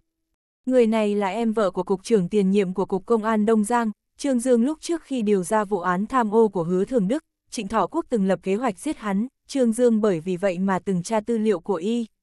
Trịnh Thọ Quốc năm nay 43 tuổi, nguyên quán ở Giang Thành Bình Hải, 58 tuổi thì nhập ngũ, sau khi rời ngũ thì tiến vào phân cục khu văn uyên của Cục Công an Giang Thành, về sau bởi vì năng lực công tác xuất sắc, được tiến vào tổ trọng án của Cục Công an Giang Thành, 7 năm trước được điều vào đội hình cảnh của Cục Công an thành phố Đông Giang.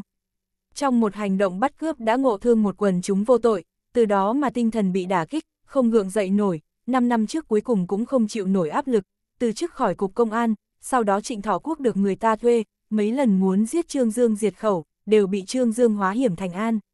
Sau khi Phương Đức Tín bị bắt, Trịnh Thọ Quốc giống như là bốc khói khỏi nhân gian, không còn biết tin tức, Trương Dương cũng dần dần quên đi cái tên này. Không ngờ cái tên này lại một lần nữa xuất hiện ở trước mặt Trương Dương, hứa ra Dũng gửi cho Dương Quế Vân 300 vạn, sau lưng khẳng định có âm mưu, gã không vô duyên vô cớ lại bỏ ra một số tiền lớn như vậy. Trương Dương nối một loạt quan hệ này lại với nhau, cả chuyện này đã dần dần biến thành rõ ràng, hứa ra Dũng cuối cùng cũng không nhịn được nữa rồi, giữa gã và Trịnh Thọ Quốc nhất định có liên hệ với nhau, gã muốn thuê sát thủ, mục tiêu của gã chính là Trương Dương. chương 504, liều chết một. Trương Dương chính là muốn hứa ra Dũng phải làm liều, có điều hắn không ngờ lần này lại có phát hiện bất ngờ như vậy. Khương Lượng và Đỗ Vũ Phong nghe Trương Dương nói xong chuyện này, hai người đều lộ ra vẻ vô cùng khẩn trương, Khương Lượng nói, không được, Trương Dương, cậu tốt nhất tìm chỗ nào đó mà trốn đi, chúng tôi sẽ phái người bảo vệ cậu 24 phần 24. Trương Dương cười nói, đừng có khoa trương như vậy được không? Hứa ra Dũng là chó cùng dứt dậu, gã thuê người giết tôi, lần này vừa hay có thể bắt được cả người lẫn tang vật, bắt sống tên trịnh thọ quốc đó. Một số vụ án vẫn treo lơ lửng chưa quyết của hứa thường đức trong quá khứ cũng có thể được giải quyết triệt đề. Đỗ Phú Phong nói, lấy thân ra làm mồi câu không phải là một chủ ý hay, huynh đệ, võ công của cậu tuy rất tốt, nhưng có lợi hại hơn nữa cũng không bằng được súng. Tôi đã đọc tư liệu về tên trịnh thọ quốc đó rồi, trước đây cũng rất có danh tiếng trong hệ thống công an Giang Thành. Trương Dương nói, tôi nếu trốn đi, gã không tìm được thấy tôi thì làm sao? Không bắt được chính thó quốc thì không thể chỉ ra và xác nhận hứa ra dũng, khó khăn lắm mới có được cơ hội này, tôi không thể bỏ lỡ. Chỉ cần có thể từ đây mà được yên tĩnh, cho dù phải mạo hiểm một chút cũng đáng. Phạm Tư Kỳ từ trong phòng bước ra, phát hiện hứa Gia Dũng đang thu dọn vali, cô ta không khỏi kinh ngạc, nói anh muốn ra ngoài à? Hứa Gia Dũng nói, ừ, có điều không phải là tôi, mà là chúng ta. Phạm Tư Kỳ nói, đi đâu? Hứa Gia Dũng nói, cô không phải nói muốn tới Nam Tích Hư. Mau thu dọn đồ đạc đi, chúng ta lập tức đi ngay. Phạm Tư Kỳ có chút kinh ngạc nhìn hứa Gia Dũng. Hứa Gia Dũng lạnh lùng nói, nhìn cái gì mà nhìn? Cô không muốn đi à? Phạm Tư Kỳ lúc này mới hồi thần lại, vội vàng quay người đi vào trong phòng. Lúc hứa Gia Dũng đang thu dọn vali thì phát hiện ở đáy vali có một bức ảnh của Kiều Mộng Việt, nhìn Kiều Mộng Viện trong ảnh, hứa Gia Dũng nhất thời sinh ra vô vàn cảm xúc, gã mím mím môi, định xé tấm ảnh đó, nhưng xé được một nửa thì lại thay đổi chủ ý, cẩn thận bỏ tấm ảnh đó vào trong túi. Rời khỏi Giang Thành không phải là vì gã sợ Trương Dương, gã chỉ là tạm thời rời khỏi nơi này, gã muốn cố gắng tránh bị hiểm nghi. Phạm Tư Kỳ ấn số điện thoại của Trương Dương, cô ta cố ý hỏi, Gia Dũng, chúng ta bao giờ thì đi? Hứa Gia Dũng đáp, bây giờ. Trương Dương nghe xong những lời này thì điện thoại đã tắt, Phạm Tư Kỳ là đang lợi dụng phương thức này để báo cho hắn biết rằng hứa Gia Dũng đã đi rồi, Trương Dương cơ hồ không phí một chút nơ giòn thần kinh nào đã đoán được hứa Gia Dũng là muốn vào thời điểm sát thủ đối phó mình không có mặt ở Giang Thành, gã muốn tránh bị hiểm nghi, Trương Dương bất giác nở nụ cười, hứa Gia Dũng cũng còn có chút đầu óc, gã rõ ràng là chuẩn bị đường lui, nếu trịnh Thỏ quốc đắc thủ, gã tự nhiên sẽ không rời đi, nếu trịnh Thỏ quốc vạn nhất bất hạnh bị bắt. Gã còn có đường lui. Trương Dương cũng không lo lắng hứa Gia Dũng sẽ chạy trốn, chỉ cần hắn bắt được Trịnh Thọ Quốc thì sẽ có được chứng cứ phạm tội của hứa Gia Dũng, tất nhiên sẽ đẩy hứa Gia Dũng vào tuyệt cảnh. Phạm Tư Kỳ sở dĩ thông chi cho hắn, càng chứng tỏ Phạm Tư Kỳ muốn mượn tay mình để dồn hứa Gia Dũng vào chỗ chết, chỉ có hoàn toàn giải quyết triệt để hứa Gia Dũng, Phạm Tư Kỳ mới có thể thoát khỏi sự khống chế của gã. Trương Dương lập tức gọi điện thoại cho viên lập ba, nhiệm vụ giữ chân hứa ra Dũng đối với gã mà nói không phải là chuyện khó. Trương Dương vừa đặt điện thoại xuống thì, Cục trưởng Cục Nông nghiệp thành phố Lam Sơn Vương Hoa Chiêu gọi tới, gã đặc biệt thông chi cho Trương Dương biết chuyện mình sắp kết hôn, Trương Dương vội vàng nói chúc mừng, chúc mừng. Vương Hoa Chiêu cười nói, anh đã trúng mừng từ trước rồi, tôi sợ anh công tác bận bịu, cho nên gọi điện thoại tới nhắc anh một tiếng, ngày kia đó, anh nhất định phải tới nhé. Trương Dương nói, yên tâm đi, dù là chuyện có quan trọng hơn nữa tôi cũng phải gạt sang một bên, trưa ngày kia nhất định sẽ uống rượu mừng của anh. Vương Hoa Chiêu nói, anh tối mai là phải tới rồi, tôi còn định nhờ anh làm phù rể nữa. Trương Dương cười nói, tối mai thì chắc là không được rồi, anh tốt nhất đừng có mang tôi ra làm trò cười. Nói chuyện với Vương Hoa Chiêu một lúc thì gác máy, Trương Dương đột nhiên ý thức được cuộc sống hiện tại của mình bất chi bất giác đã bị hứa ra dũng làm ảnh hưởng rồi, cừu hận thật sự không phải là một chuyện tốt, một khi dính vào nó chẳng khác nào là đeo lên một cái khóa vô hình. Hứa Gia Dũng và Phạm Tư Kỳ vừa rời khỏi chính phủ nhất chiêu, tốc độ của xe Lincoln cũng không nhanh, ô tô vừa rẽ thì đột nhiên một bóng người lao ra. Lái xe hoảng quá vội vàng đạp phanh, nhưng bên ngoài vẫn truyền tới một tiếng hô thảm, người đó nằm vật ra đất. Lái xe ngây ra, nhất thời đờ ra đó. Hứa Gia Dũng tức giận nói, lái xe kiểu gì đấy? Tôi còn chưa chạm vào anh ta. Lái xe mặt mày vô tội, nói. Phạm Tư Kỳ phản ứng nhanh nhất, còn không mau xuống xe xem thế nào. Bọn họ đẩy cửa đi xuống, lại thấy một đại hán chọc đầu nằm ngửa ra đó, không động đậy, không biết là sống hay chết. Còn chưa đợi bọn họ đi tới thì bỗng dưng có hơn 10 hán tử xông ra, tên dẫn đầu chính là cầu kiểm cường, gã và viên lập ba có quan hệ rất tốt, trước đây từng nhiều lần ăn quả đắng của Trương Dương, viên lập ba bảo gã đi gây sự với hứa gia dũng, cầu kiểm cường tuy không có bản sự gì, nhưng nhắc tới vô lại thì là một hảo thủ. Hứa Gia Dũng và Phạm Tư Kỳ nào đã bao giờ thấy qua loại trận thế này, thấy hơn 10 đại hán vây tới, Phạm Tư Kỳ mặt mày trắng bệch, hứa Gia Dũng quát các anh muốn làm gì. Cậu Kiềm Cường nói, mày con mẹ nó hỏi tao làm gì à? Khệnh quả nhỉ, tao chưa bao giờ nhìn thấy ai giả vờ khệnh như mày, mày đâm huynh đệ của tao, giờ tính sao đây? Lái xe nói, tôi căn bản không đâm vào anh ta, anh ta đột nhiên lao tới đầu xe của tôi, tôi đã phanh rồi, nhưng anh ta vẫn ngã xuống. Cậu kiểm cường trợn mắt lên, đi tới trước mặt tên lái xe đó, vung tay phải tát cho hắn một cái, đánh rắm, bọn tao nhiều người như vậy, mấy chục cái mắt đều nhìn thấy, mày đâm huynh đệ của tao rồi, mày còn dám không thừa nhận à. Tên đầu chọc nằm trên đấy rên rỉ, đau chết tôi rồi, anh Cường, chân. Chân em gãy rồi. Hứa ra dũng dẫu sao cũng là nhân vật trải qua nhiều mưa gió, gã biết rằng hôm nay gặp một đám lưu manh địa phương rồi, tên đầu chọc đó có 89 phần 10 là giả vờ. Gã cũng không nghĩ rằng chuyện này lại có liên quan tới Trương Dương. Nhưng phàm là những tên lưu manh gây sự, đa số đều là vì cầu tài. Hứa ra dũng bước tới, các anh nói xem phải giải quyết thế nào đây, hoặc là đưa tới bệnh viện, hoặc là chúng tôi bồi thường rồi các anh đưa anh ta tới bệnh viện.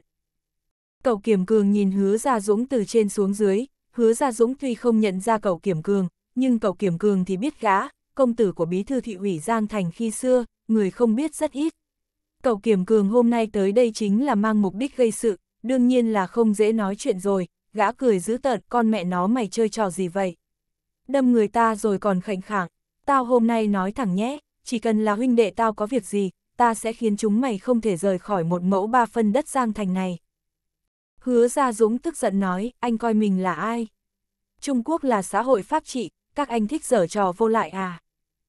Lúc này xe cảnh sát đi tới, người Trung Quốc thích nhất là xem náo nhiệt, phát sinh loại chuyện này thì lập tức có người vây tới, lúc xe cảnh sát giao thông tới, người xem đã vây song phương ba tầng ngoài ba tầng trong. chương 504, liều chết 2. Thiếu, bổ sung sau. chương 504, liều chết 3. Trương Dương quyết định dùng mình làm mồi để dụ Trịnh Thọ Quốc xuất thủ với hắn, để đảm bảo cho sự an toàn của hắn. Đỗ Vũ Phong đặc biệt trang bị cho hắn một chiếc áo chống đạn, Trương Dương mặc nó ở bên trong. Tuy như vậy không thể đảm bảo 100% là hắn không bị tập kích, áo chống đạn không thể bảo vệ đầu. Trương Dương ngoài miệng thì nói nghe rất nhẹ nhàng, nhưng trong lòng cũng có chút khẩn trương. Trịnh Thọ Quốc ở trong bóng tối, hắn thì lại ở ngoài chỗ sáng, nếu như y dùng súng ngắm bắn mình, hắn cũng không dám đảm bảo rằng mình có thể né được đạn. Từ sau khi biết hứa ra Dũng muốn hạ thủ đối với mình, Trương Đại Quan Nhân cẩn thận hơn nhiều, hắn định rằng trước khi chuyện này triệt để kết thúc, hắn sẽ không đi gặp Kiều Mộng Việt, cho cô ta thời gian để bình tĩnh lại, cũng tránh làm liên lụy tới cô ta. Nhưng Trương Dương không ngờ Kiều Mộng Viện lại chủ động hẹn gặp mình. Mục đích Kiều Mộng Viện gặp Trương Dương chỉ có một, cô ta vừa nghe nói tới chuyện sáng nay hứa ra Dũng bị đánh, tuy cô ta không có bất kỳ chứng cứ nào, nhưng vẫn đoán rằng chuyện này nhất định là Trương Dương làm, chẳng trách khi hứa ra Dũng gọi điện thoại cho mình lại chán nản đến vậy. Ngồi trong sảnh uống cà phê của nội bộ công ty hối thông, hai người ngồi ở vị trí gần cửa sổ phía đông, bởi vì giờ là lúc làm việc buổi chiều cho nên trong sảnh cà phê chỉ có hai người họ. Kiều Mộng Viện nói khẽ Trương Dương, anh tha cho gã đi, để gã rời khỏi Giang Thành. Trương Dương thở dài, nói, Mộng Viện, tôi không hề cản gã. Kiều Mộng Viện nhìn Trương Dương, tựa hồ như muốn nhìn thấu tim hắn, Trương Dương rất thản nhiên nhìn lại Kiều Mộng Viện, lăn lộn trên quan trường 2 năm, tố chất tâm lý của thằng ôn này tu luyện càng ngày càng tốt. Kiều Mộng Viện nói, tôi không rõ cách anh vì sao phải đấu tới tôi chết anh sống. Tôi không muốn gạt anh, vừa rồi hứa ra Dũng có gọi điện cho tôi. Trương Dương nói, gã bảo gì, có phải lại muốn lừa cô không? Kiều Mộng Viện lắc đầu, nói, gã nói gì không quan trọng, bởi vì tôi sớm đã không còn quan tâm. Trương Dương, chuyện này tới đây là dừng đi, gã coi anh là kẻ thù giết cha, một mực đều muốn tìm anh trả thù. Có thể nói tình trạng của gã hiện giờ căn bản chính là do một tay gã tạo thành, nếu như gã đồng ý bỏ cuộc, anh vì sao còn không chịu tha cho gã. Oan oan tương báo khi nào mới dứt, anh tin tôi một lần đi. Trương Dương nói, gã nói với cô thế này đúng không, gã nói mình sai rồi, gã nói sẽ vứt bỏ thù hận. Kiều Mộng Viện nói, gã đã đồng ý từ bỏ không mua lại hối thông nữa, còn muốn chuyển nhượng chỗ cổ phần còn lại của hối thông cho tôi. Trương Dương, bỏ đi, trên thế giới này có gì mà không đặt xuống được đâu. Chẳng lẽ cứ phải làm đến mức không đội trời chung ư? Trương Dương mỉm cười nhìn Kiều Mộng Viện, hắn không ngờ Kiều Mộng Viện lại chủ động tìm mình cầu tình cho hứa ra dũng, hắn uống một ngụm cà phê, nói khẽ Mộng Viện, cô có còn nhớ không? Tôi từng nói, tôi sẽ không lừa và lợi dụng cô nữa. Kiều Mộng Viện không nói gì, cô ta lặng lẽ nhìn Trương Dương, cô ta cũng từng nói rằng không gia nhập vào chuyện giữa hắn và hứa ra dũng nữa, nhưng Kiều Mộng Viện thực sự là không nhẫn tâm nhìn thấy họ đấu đến người sống ta chết. Khi hứa Gia Dũng gọi điện thoại tới, Kiều Mộng Viện nhận thức rõ rằng mình đối với hứa Gia Dũng sớm đã mất đi sự yêu thương của ngày trước. Cái tên hứa Gia Dũng này cũng không còn khiến cô ta cảm thấy động lòng nữa. Cô ta chỉ cảm thấy hứa Gia Dũng quá đáng thương, hứa Gia Dũng hiện tại đã mất đi cả sự nghiệp, mất cả tình yêu, cơ hồ là mất cả nhân sinh. Ở trước mặt Trương Dương, hứa Gia Dũng chỉ là một kẻ thất bại không hơn không kém, có thể khiến hứa Gia Dũng trước giờ luôn kiêu ngạo phải nói ra lời nhận thua, là một chuyện khó khăn đến cỡ nào, gã đã muốn bỏ đi, Trương Dương vì sao còn đuổi tận giết tuyệt. Kiều Mộng Viện chỉ muốn Trương Dương có thể có được sự khoan dung của một người giành chiến thắng. Trương Dương nói khẽ tôi thừa nhận, rất nhiều phiền phức của hứa Gia Dũng hiện tại là do tôi chế tạo ra, nhưng tôi sẽ không cứ vậy mà bỏ qua đi, bởi vì cô không hiểu gã, gã đã mất đi lý trí rồi, gã hiện tại là một thằng điên, vì báo thù mà gã không tiếc trả bất cứ giá nào, gã sẽ không dừng tay. Kiều Mộng Viện tức giận nói, anh luôn miệng nói gã đã mất đi lý trí, gã là một thằng điên, nhưng anh không phải cũng thế ư, anh cũng bị cừu hận che mở hai mắt rồi.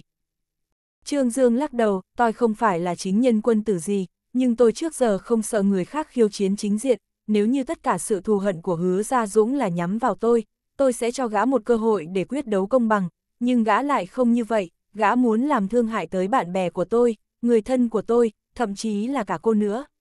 Tôi quyết không đáp ứng, vì các người, tôi sẽ sớm tiêu trừ ẩn hoạn này, tôi muốn gã không gượng dậy nổi, phải thất bại thảm hại. Kiều Mộng Viện rít lên, đủ rồi, anh chỉ là tìm một cái cớ cho lòng báo thù của mình. Trương Dương nói, đúng, tôi là đang tìm cớ, nhưng tôi căn bản không tin gã. Mộng Viện, cô bị lừa chưa đủ ư, cô thử nghĩ đến những gì mà gã đã làm xem, cô tin rằng gã sẽ hối cải sao. Kiều Mộng Viện nói, tôi cũng mệt rồi, tôi không muốn nhìn các anh tranh đấu nữa. Gã đã muốn đi, anh vì sao không cho gã cơ hội. Kiều Mộng Viện đột nhiên cảm thấy đầu óc quay cuồng, cô ta cắn chặt môi, hai tay chống xuống mặt bàn. Trương Dương lại uống một ngụm cà phê, phát hiện sắc mặt của Kiều Mộng Viện có chút không ổn, ngạc nhiên nói, Mộng Viên, cô sao vậy? Kiều Mộng Viện lắc đầu, cô ta cảm thấy mình vô cùng hư nhược, cố gắng đứng dậy, nói, không được rồi, tôi mệt quá, tôi phải về công ty, còn chưa dứt lời thì đột nhiên cảm thấy hoa mày chóng mặt, hai chân mềm nhũn ngã xuống đất. Trương Dương thấy vậy thì đại kinh thất sắc, hắn lập tức ý thức được trong cà phê khẳng định là có vấn đề, mình thật sự là con mẹ nó quá sơ ý rồi, không ngờ lại không phát hiện ra sớm. Trương Dương đang chuẩn bị đỡ Kiều Mộng Viện dậy thì cũng cảm thấy khí tức không thông, hai mắt biến thành cây xè, mí mắt tựa hồ như nặng ngàn cân. Trương Đại Quan Nhân móc di động ra, lúc này thì vù vù hai tiếng, hai viên đạn gây mê phân biết cắm vào mông và đùi hắn, Trương Dương ngã vật xuống. Trương Dương vô số lần tưởng tượng tình cảnh mình bị tập kích, nhưng chưa từng nghĩ đến kẻ ám toán lại đánh thuốc vào cà phê mà hắn uống, ngay cả Kiều Mộng Viện cũng bị ám toán, nếu như ở bên ngoài thì sự cảnh giác của Trương Dương có lẽ sẽ cao hơn một chút, nhưng đây là nội bộ công ty của Kiều Mộng việt hắn không ngờ người ta lại ra tay ở đây. Trương Dương tiềm vận nội lực muốn bước loại thuốc mê không tên đó ra khỏi cơ thể, nhưng hắn lúc này lại không vận nổi nửa phần khí lực. Căn cơ thâm hậu của Trương Đại Quan Nhân cơ bản đã mang lại tác dụng rất lớn, hắn không hề hôn mê, tai vẫn nghe thấy tiếng quay của bánh xe. Lại là hai nam tử mặc quần áo nhân viên vệ sinh đẩy một chiếc xe nhỏ tới, hai người trước tiên ôm lấy Trương Dương rồi ném vào trong xe, sau đó lại đặt kiều mộng viện lên người Trương Dương rồi dùng vải đậy lên. Tay của Trương Dương lúc này tuy tê đi, nhưng đầu óc thì vẫn còn tỉnh táo. Một người trong đó nói với giọng khàn khàn, mày tới bãi đỗ xe đi, tao đi xuống cầu thang rồi hội hợp với mày. Một nam tử khác nói, có một chiếc xe cảnh sát ở bên ngoài. Tên giọng khàn khàn cười khành khạch, nói, đám cảnh sát đó toàn là hạng phế vật, đợi chúng phát hiện ra thì chúng ta đã rời khỏi Giang Thành rồi. Trương Đại Quan Nhân cảm thấy rất lạ, đầu óc của mình không ngờ vẫn có thể tỉnh táo đến vậy, những lời nói ở bên ngoài hắn nghe không sót chữ nào, nhưng chân tay thì lại không thể động đậy được, ngược bên phải của Kiều Mộng Viện áp lên mặt hắn, may mà không bịt mũi hắn, nếu không Trương Đại Quan Nhân chỉ có nước nghẹt thở mà chết. chương 505, lấy trứng trọi đá 1 Xe kéo theo thang máy trực tiếp đi xuống bãi đỗ xe ở tầng ngầm, hai người đó mở cửa sau của một chiếc xe ra, bê cái thùng chứa Trương Dương và Kiều Mộng Viện lên. Trương Dương lúc này đã không còn nghĩ tới chuyện gì khác, hết sức chuyên chú điều tức, cố gắng bài xuất hết thuốc mê ở trong người ra ngoài, sau khi xe đi được khoảng nửa tiếng thì đường biến thành sóc này, Trương Dương đoán rằng bọn họ chắc đã ra khỏi Giang Thành, thuốc mê không phải là độc dược, với năng lực của Trương Đại Quan Nhân cũng không thể trong thời gian ngắn khôi phục được lực lượng, hắn thầm kêu bất diệu, tuy đã chuẩn bị đầy đủ, nhưng vẫn trúng bẫy của hứa Gia Dũng, hứa Gia Dũng tính toán rất kỹ. Lợi dụng kiều mộng viện để dụ mình ra, nhân lúc hắn sơ suất bỏ thuốc mê vào trong cà phê, không chỉ là vậy, còn dùng đạn thuốc mê bắn hắn. Chỉ là đám người này không ngờ được rằng, lượng thuốc mê nhiều như vậy nhưng vẫn không gây mê được Trương Dương, đầu óc của hắn vẫn tỉnh táo, biết rõ chuyện gì đang xảy ra. Sau khi chiếc xe đi thêm được khoảng một tiếng, lái vào trong một mỏ đá trong khu vực phong trạch, một nam tử e ao khẩu tráng kéo tấm vải tre bên trên thùng ra, cùng một đồng bọn khác lôi kiều mộng viện và Trương Dương ra, vì để ổn thỏa, còn dùng còng tay còng họ lại. Lực lượng của Trương Dương vẫn chưa khôi phục hoàn toàn, hắn không dám khinh cử vọng động. sóng nam khàn khàn đó nói, sao rồi? Một nam tử ồm ồm nói, chuẩn bị xong rồi. Trương Dương mình bị người ta tóm lấy cổ áo rồi kéo vào trong một cái lồng sắt, Kiều Mộng Viện rất nhanh cũng bị kéo vào, theo một tiếng keng, cửa đã bị khóa, bọn chúng dùng khóa lớn để khóa lồng sắt. Một nam tử trong đó cầm một bồn nước lạnh hắt vào trong lồng, Kiều Mộng Viện bị nước lạnh hắt chúng, lập tức tỉnh lại. Trương Dương vốn không hề ngất, cũng giả vờ bị đánh thức. Kiều Mộng Viện nhìn sự cảnh của mình thì không khỏi kinh hoàng thất thố, khuôn mặt xinh đẹp hoàn toàn trắng bệch, cô ta lập tức lại phát hiện Trương Dương ở bên cạnh. Thân thể của hai người dựa sát vào nhau, bị khóa ở bên trong lồng sắt, kể ra cũng lạ, sau khi thấy ánh mắt của Trương Dương, Kiều Mộng Viện lại biến thành an định hơn nhiều, không còn sợ hãi như lúc vừa rồi mới tỉnh lại. Trương Dương nhìn bốn nam tử ở bên ngoài, một người trong đó thân hình cao to, gã đi tới trước lồng, dùng một cây gậy sắt đâm vào ngực Trương Dương, cười lạnh nói, áo chống đạn à, kỳ thức giết mày cũng không nhất định phải dùng súng. Khóe miệng Trương Dương lộ ra một nụ cười kỳ quái. Nam tử đó nói, cười cái gì? Mày cô rằng mình có thể một tay che trời ư, tao một giết mày chẳng khác nào là giết một con kiến cả. Kiều Mộng Viện trong lòng vô cùng buồn bã, cô ta lúc này mới nhớ lại tất cả trước khi ngất đi, là cô ta mời Trương Dương tới sảnh cà phê của công ty cầu tình cho hứa Gia Dũng, muốn bảo Trương Dương bỏ qua cho hứa Gia Dũng, nhưng không ngờ rằng chính bởi vì cuộc hẹn này của mình mà khiến Trương Dương rơi vào bẫy. Cô ta nhớ tới sự kiên trì của Trương Dương ở trong sảnh cà phê, sự thực đã chứng minh rằng hứa Gia Dũng vẫn đang lợi dụng cô ta, mà cô ta thì bởi vì mềm lòng mà phải trả giá đắt, không chỉ là vậy mà còn liên lụy tới Trương Dương. Nghĩ tới đây trong lòng Kiều Mộng Viện vô cùng chua xót, hai hàng lệ tuôn rơi. Trương Dương nhìn cô ta với ánh mắt ôn nhu và thương xót, nội lực của Trương Dương lúc này đã khôi phục lại một nửa, từ hành động của đám bắt cóc hắn có thể nhìn ra, bọn chúng không phải chỉ muốn giết mình và Kiều Mộng Viện một cách đơn giản, một tên trong đó đang cầm máy quay quay hai người họ, rõ ràng là muốn ghi lại toàn quá trình hành hạ bọn họ đến chết, sau này giao cho chủ thuê. Kiều Mộng Viện rất muốn nói xin lỗi với Trương Dương, nhưng cô ta lại này lại không phát ra được tiếng, nước mắt không ngừng rơi xuống. Một chiếc xe cần cầu cỡ nhỏ chậm rãi lái tới, cần cầu từ từ hạ xuống, một tên bắt cóc dùng móc sắt móc xích sắt, chiếc lồng sắt dưới sự điều khiển của lái xe dần dần bay lên. Trương Dương từ trên không nhìn xuống, ở cách đó không xa có một đầm nước, đám người này là muốn dìm chết họ. Trương Dương nhớ tới không ít nơi dùng cách này để trừng phạt gian phu dâm phụ, không ngờ chuyện này lại đến lượt hắn và Kiều Mộng Viện. Kiều Mộng Viện cũng ý thức được đám người này muốn làm gì, cô ta lúc này không khóc nữa, trên mặt vẫn thấm đẫm hai hàng lệ, dưới ánh nắng long lanh phát sáng, lồng sắt càng lúc càng lên cao, lái xe chuyển động cần cầu, để lồng sắt đối chuẩn với đầm nước ở bên dưới. Kiều Mộng Viện tuy không lên tiếng, nhưng miệng của cô ta liên tục mấp máy, theo khẩu hình thì rõ ràng là đang nói xin lỗi. Trương Dương mỉm cười nhìn cô ta, không có một chút sợ hãi nào, thể lực của hắn đang khôi phục lại rất nhanh, dùng công phu truyền âm nhập mật nói với Kiều Mộng Viện, đừng sợ, bọn chúng coi chúng ta là gian phu dâm phụ, muốn dìm chết chúng ta. Trong mắt Kiều Mộng Viện lộ ra vẻ kinh ngạc và vui mừng, Trương Dương không ngờ có thể nói chuyện, cô ta thực sự nghe thấy giọng của Trương Dương.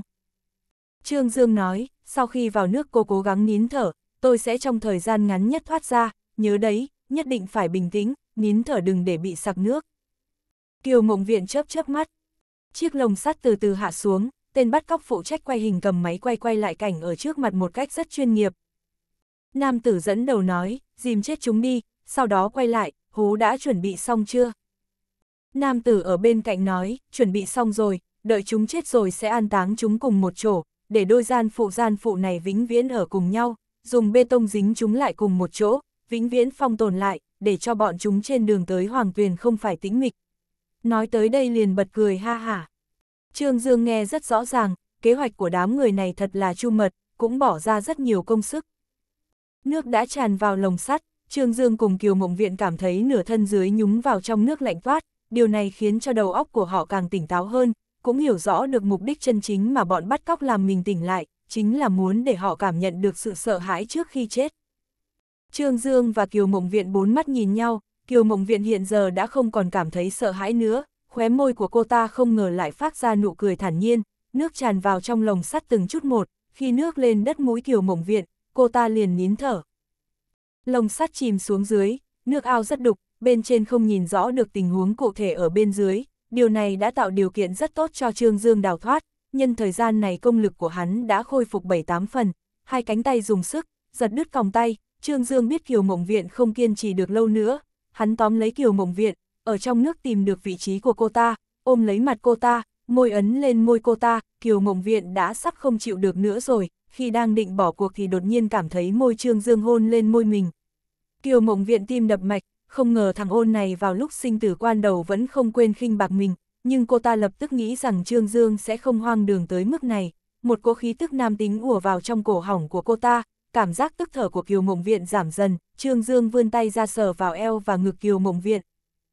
Kiều Mộng Viện lúc này vừa xấu hổ lại vừa lo lắng, vừa rồi còn có thể dùng lý do Trương Dương giúp cô ta hô hấp để giải thích, nhưng hiện tại hắn không ngờ lại sờ soạng khắp người mình, nhưng ý thức của Kiều Mộng Viện trong nháy mắt đã mất đi, Trương Dương ấn vào huyệt đạo trên thân thể của cô ta, khiến cô ta rơi vào trạng thái quy tức. chương 505, lấy trứng trọi đá 2 Trương Dương hai tay nắm lấy lồng sắt to bằng ngón tay cái, nội lực dồn vào hai tay, thoáng cái đã bẻ được thanh sắt, hắn từ trong cái lỗ được mở ra bơi ra ngoài, sau đó kéo thanh sắt trở về nguyên trạng. Sau khi lồng sắt ngâm trong nước được 15 phút, chiếc xe cần cầu mới kéo lồng sắt lên, trong mắt đám bắt cóc này Trương Dương và Kiều Mộng Viện chắc chắn đã chết, không ai có thể sống được ở trong nước lâu như vậy. Kiều Mộng Viện nằm bất động trong lồng sắt, xem ra đã chết từ lâu rồi, khiến người ta kinh ngạc là Trương Dương không ngờ lại không thấy đây, đây không phải là ma thuật chứ, không thể trình diễn người sống biến mất được. Khi bọn chúng vẫn chưa hồi thần thì Trương Đại Quan Nhân đã từ dưới mặt nước bay ra, cơ hồ là đồng thời dùng đinh đập vào chán hai tên bắt cóc, đâm xuyên xương sọ của chúng rồi cắm sâu vào trong. Tên nam tử lái xe thấy tình hình không ổn, vội vàng mở cửa bỏ chạy. Tên nam tử dẫn đầu đã móc súng ra, tốc độ móc súng của y cũng rất nhanh, ngón tay định nhấn cò súng, nhưng Trương Dương đã rút một thanh phi đao ra, phi đao nhắm chuẩn vào ngón tay của y, khi đối phương còn chưa ấn kịp cò súng thì mũi đao sắc bén đã gọt đứt ngón tay trỏ của y, nam tử đó hét lên một tiếng đau đớn. Trương Dương trong thời gian ngắn đã tiếp cận y, một quyền đấm vào cầm y, đánh cho người đó bay lên không, sau đó thì nặng nề va xuống đất, miệng đã răng bơi trong máu. Trương Dương bước lên trước một bước, chế trụ huyệt đạo của y, từ trên mặt đất nhặt một khối đá to như trứng gà lên, nhắm chuẩn vào tên tài xế xe cần cẩm đang chạy về đằng xa, dùng sức ném một cái, hòn đó giống như đạn pháo bay ra, đập trúng vào não tên lái xe đó, khiến cho hắn không kịp rên lên tiếng nào đã đổ vật xuống đất. Một loạt động tác của Trương Dương dứt khoát liền mạch, trong thời gian chưa đến một phút đã đánh ngã toàn bộ bốn tên bắt óc. Hắn không muốn để ý đến kẻ địch, trước tiên bò lên xe cần cầu, đặt lồng sắt xuống đất rồi nhanh chóng giải cứu Kiều Mộng Viện, đảm bảo cô ta được bình yên vô sợ. Sau khi giải trừ Kiều Mộng Viện khỏi trạng thái quy tức, Kiều Mộng Viện thở hắt ra một hơi, sau đó từ từ tỉnh lại, cô ta mở mắt ra nhìn tình huống ở xung quanh, nhưng lại bị bàn tay to lớn của Trương Dương che lại. Trương Dương nói, đừng mở mắt, cứ nhắm lại đi, đợi cho tới khi cảnh sát tới. Trương Dương sở dĩ bảo Kiều Mộng Viện nhắm mắt là sợ Kiều Mộng Viện nhìn thấy cảnh thảm liệt ở trước mặt mà bị kinh hãi. Kiều Mộng Viện gật đầu, nói khẽ tôi tin anh. Giọng nói của cô ta vẫn có chút khẩn trương, nhưng cô ta tin rằng có Trương Dương ở bên cạnh cô ta, cô ta sẽ bình an vô sự. Đỡ Kiều Mộng Viện vẫn còn hoảng sợ sang một bên ngồi xuống, Kiều Mộng Viện quả nhiên nghe theo lời hắn nhắm chặt mắt, sau khi ấn số điện thoại của cảnh sát liền lặng lẽ chờ đợi cảnh sát tới. Trương Dương đi tới trước mặt tên nam tử bị hắn dùng phi đao gọt đứt ngón tay, kéo khẩu trang của y xuống, nhìn thấy khuôn mặt của y, rất nhanh liền nhận ra người này chính là Trịnh Thọ Quốc. Trước đây Trương Dương từng xem ảnh của y, cho nên không phí nhiều công phu đã nhận ra y. Trương Dương giải khuyệt câm cho Trịnh Thọ Quốc, cười lạnh nói Trịnh Thọ Quốc. Mày to gan lắm, làm ra nhiều chuyện xấu như vậy mà không ngờ còn dám quay lại Giang Thành. Trịnh Thọ Quốc mặt mày hoảng hốt nhìn Trương Dương, y cũng tính là lão tướng đã cửu kinh xa trường, nhưng y bất kể là như thế nào cũng không hiểu được Trương Dương làm thế nào thoát khỏi được còng tay và lồng sắt. Phải biết rằng, bọn chúng không những hạ thuốc mê vào cà phê mà còn dùng đạn mê liên tiếp bắn chúng Trương Dương hai phát, lượng thuốc mê đủ để vật ngã một con voi, nhưng đối với Trương Dương lại không có tác dụng. Trịnh Thọ Quốc chán nản nói, đã rơi vào tay mày rồi, muốn giết hay muốn làm gì là quyền của mày. Trương Dương nói, ai phái mày tới đây? Trịnh Thọ Quốc tuy bị Trương Dương đánh cho miệng đầy máu, răng rơi đầy đất, nhưng vẫn rất cứng, y cười ha ha, nói, không ai phái tao tới cả, mày hại chết anh rể tao, tao đương nhiên phải tìm mày báo thù rồi. Trương Dương gật đầu, cứng miệng lắm, nhưng miệng mày có cứng hơn nữa thì tao cũng có biện pháp để bắt mày khai ra thôi.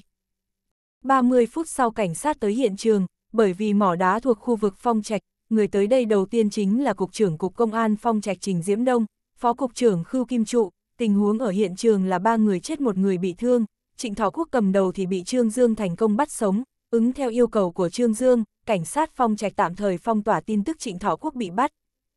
Trương Dương sau khi ở hiện trường làm tường trình, đi tới trước xe cứu hộ, Kiều Mộng Viện đã thay quần áo cảnh sát đang được kiểm tra sức khỏe toàn diện, cô ta chỉ bị kinh sợ, tinh thần có chút khẩn trương, còn thân thể thì không có bất kỳ vấn đề gì. Trương Dương cũng mặc một bộ quần áo cảnh sát, quần áo để thay tìm được ở hiện trường chỉ có quần áo cảnh sát và áo dài trắng, Trương Dương nghĩ một chút rồi vẫn thay quần áo cảnh sát vào. Sắc mặt của Kiều Mộng Viện có chút trắng bệch, cầm một cốc nước dựa vào xe cảnh sát, nhìn mặt đất ở dưới chân đến thất thần. Tuy Trương Dương đã dặn dò cô ta không được mở mắt, nhưng vừa rồi cô ta vẫn không cẩn thận nhìn thấy thảm trạng của người chết, tình tự của Kiều Mộng Viện rõ ràng bị ảnh hưởng. Trương Dương đi tới bên cạnh, học theo bộ dạng của cô ta, cũng dựa vào xe cảnh sát. Kiều Mộng Viện uống một ngụm nước, nói khẽ chết nhiều người quá. Trương Dương nói, ba người, tình huống lúc đó chính là như vậy, tôi không giết họ thì bọn họ cũng sẽ giết tôi, tôi không có sự lựa chọn nào khác. Nhìn vẻ mặt sợ hãi bất an của Kiều Mộng Viện, Trương Dương thở dài, xin lỗi, đều là lỗi của tôi, nếu không phải là tôi quá sơ suất thì cũng sẽ không khiến cô bị kinh sợ. Kiều Mộng Viện nói, người nên nói xin lỗi là tôi mới đúng, là tôi hẹn anh tới sảnh cà phê của hối thông, cho nên mới bị người ta lập bẫy. Nói tới đây Kiều Mộng Viện đột nhiên cảm thấy khó chịu, sự thực chứng minh hứa Gia Dũng gọi điện thoại cho cô ta chỉ là đóng kịch, gã vẫn đang lợi dụng mình, lợi dụng mình để đối phó với Trương Dương. Kiều Mộng Viện phát hiện mình Thủy chung vẫn thoát khỏi mệnh vận bị kẹp giữa hai người họ, tranh đấu giữa hai người đều lấy cô ta ra làm vũ khí để đối phó với đối phương, đây là một loại bi ai biết bao, cô ta không nhịn được mà dùng mình một cái. Trương Dương cởi áo cảnh sát của mình xuống, khoác lên người Kiều Mộng Viện. Cục trưởng công an phong trạch Trình Diễm Đông bước tới chỗ hắn, Trương Dương đánh mắt ra hiệu cho Trình Diễm Đông, hai người đi sang một bên, Trình Diễm Đông nói khẽ, vừa rồi đã liên hệ với phía Giang Thành Trương Dương, hứa Gia Dũng vừa rời khỏi cục cảnh sát. Trương Dương gật đầu, vươn tay ra mượn điện thoại của Trình Diễm Đông gọi cho Đỗ Vũ Phong, anh Đỗ, gã đang làm gì? Đỗ Vũ Phong vừa lái xe vừa nhìn chiếc xe Lincoln, nói ầm ý tới tận chiều, gã cũng đủ thảm hại rồi, vừa rồi thính trưởng Vương tự mình gọi điện thoại tới hỏi chuyện này, cục lý cũng không thể tiếp tục giữ gã lại, dẫu sao thì gã cũng không phạm tội. Trương Dương nói, theo dõi gã, trịnh thọ quốc xa lưới rồi. Đỗ Vũ Phong vui mừng nói, thật ư. Trương Dương nói, thật, tùy thời nói cho tôi động hướng của gã, tôi giờ đi tìm gã đây. chương 505, lấy trứng trọi đá ba Sắc mặt của hứa gia dũng sầm xuống, ngồi trong xe Lincoln, gã muốn rời khỏi Giang Thành, nhưng ngày hôm nay ra cửa không thuận lợi, sự cố giao thông, sự kiện ẩu đả các loại. Thời gian của gã bất chi bất giác đã hết sạch, sắc trời ở bên ngoài đã tối dần, hứa Gia Dũng biết rằng hôm nay không đi được rồi. Phạm Tư Kỳ nói, chúng ta có đi nữa không? Hứa Gia Dũng lắc đầu, gã đột nhiên nảy sinh một ý nghĩ, nói với tài xế tới hối thông xem nào. Khi xe lái tới trước cửa hối thông, bóng tối đã phủ xuống, đợi khi đỗ xe xong, hứa Gia Dũng đẩy cửa bước xuống, gã đứng ở giữa đường nhìn đèn đuốc ở trên tòa nhà công ty hối thông. Gã tìm vị trí của văn phòng Kiều Mộng Viện, cửa sổ đen kịt, hứa ra dũng lặng lẽ nhìn cửa sổ, tựa hồ như nhìn thấy cảnh đèn trong phòng sáng lên, Kiều Mộng Viện đang ngồi ở trước bàn làm việc trong phòng đọc giấy tờ, hứa ra dũng thở dài, gã vẫn chưa nhận được tin tức, không biết Trịnh Thảo Quốc có hoàn thành nhiệm vụ mà mình giao cho không. Khi hứa ra dũng đang chuẩn bị lên xe thì di động của gã đổ chuông. Hứa ra dũng mở điện thoại, nghe thấy tiếng cười lạnh của Trương Dương, hứa ra dũng lập tức biến sắc, gã run giọng nói, mày là ai? Tao là quỷ, tao là quỷ bị mày giết. Hứa ra dũng gần lên, mày nói dối. Trương Dương nói, mày thuê trịnh thọ quốc giết tao, mày hận tao thì chỉ nên nhắm vào tao thôi, vì sao còn hại kiều mộng viện, vì sao lại muốn làm thương hại người đã từng yêu mày, từng vì mày nhiều như vậy, từng thật lòng muốn giúp mày. Hứa ra dũng nắm chặt điện thoại nhìn xung quanh, nhưng gã không phát hiện ra bóng dáng của Trương Dương, mày ra đây, mày ra đây cho tao. Hứa ra dũng gầm lên như phát điên. Trương Dương nói, mà rõ ràng có thể sống thoải mái, vì sao lại cứ tự bước mình vào tuyệt lộ. Hứa ra dũng gần lên, là mày bức tao. Trương Dương nói, có biết hôm nay Kiều Mộng Viện hẹn tao làm gì không? Hứa ra dũng lắc đầu. Trương Dương nói, cô ta hẹn tao tới sảnh cà phê của hối thông là để khuyên tao bỏ qua cho mày, bảo tao cho mày một con đường sống, cho dù là mày làm nhiều chuyện có lỗi với cô ấy như vậy, nhưng cô ấy vẫn muốn giúp mày, cô ấy cảm thấy mày đáng thương, cô ấy thương hại mày. Hứa ra dũng gầm lên, tao không cần cô ta thương hại, tao không cần bất kỳ ai thương hại. Trương Dương nói, hiện tại cho dù là mày muốn cô ấy thương hại mày thì cũng không có cơ hội nữa rồi. Hứa ra Dũng trong lòng trầm xuống, tuy gã sớm đã quyết định muốn giết cả Kiều Mộng Viện với Trương Dương, nhưng lúc này nghe thấy Trương Dương nói vậy thì vẫn cảm thấy đau lòng vô cùng, gã phát hiện mình sai rồi, ở sâu trong lòng gã vẫn còn yêu Kiều Mộng Viện, gã vì sao lại muốn giết cô ta. Người mà gã thật sự muốn giết là Trương Dương thì vẫn còn sống, nhưng Kiều Mộng Viện thì... Hứa Gia Dũng nuốt lệ ngẩng đầu lên, khiến gã kinh ngạc là, đèn ở văn phòng của Kiều Mộng Viện lại được bật lên, một bóng người đứng trước cửa sổ, tuy cách rất xa, nhưng hứa Gia Dũng vẫn có thể nhận ra đó là Trương Dương. Hứa Gia Dũng hét vào điện thoại, mày vẫn còn sống. Trương Dương nói, thấy tao vẫn còn sống mày phải chăng là rất thất vọng. Hứa Gia Dũng, tao nói rõ cho mày biết, Trịnh Thọ Quốc đã xa lưới rồi, y đã khai ra hết chuyện mày thuê y giết người, mày cho rằng mình rất cao minh, có thể giấu được tất cả mọi người ư, nằm mơ đi. Hứa Gia Dũng nắm chặt điện thoại, lúc này gã đã nghe thấy tiếng còi cảnh sát ở đằng xa. Hứa Gia Dũng quay người lại, có mấy chiếc xe cảnh sát đang sáng đèn lái về phía hối thông, gã cơ hồ là trong nháy mắt hạ quyết định, xài bước về phía hối thông, hét vào trong điện thoại, mày đợi tao, mày có gan thì đợi tao. Trương Dương nói, tao đợi mày, tao ngồi ở trong văn phòng của mộng viện đợi mày.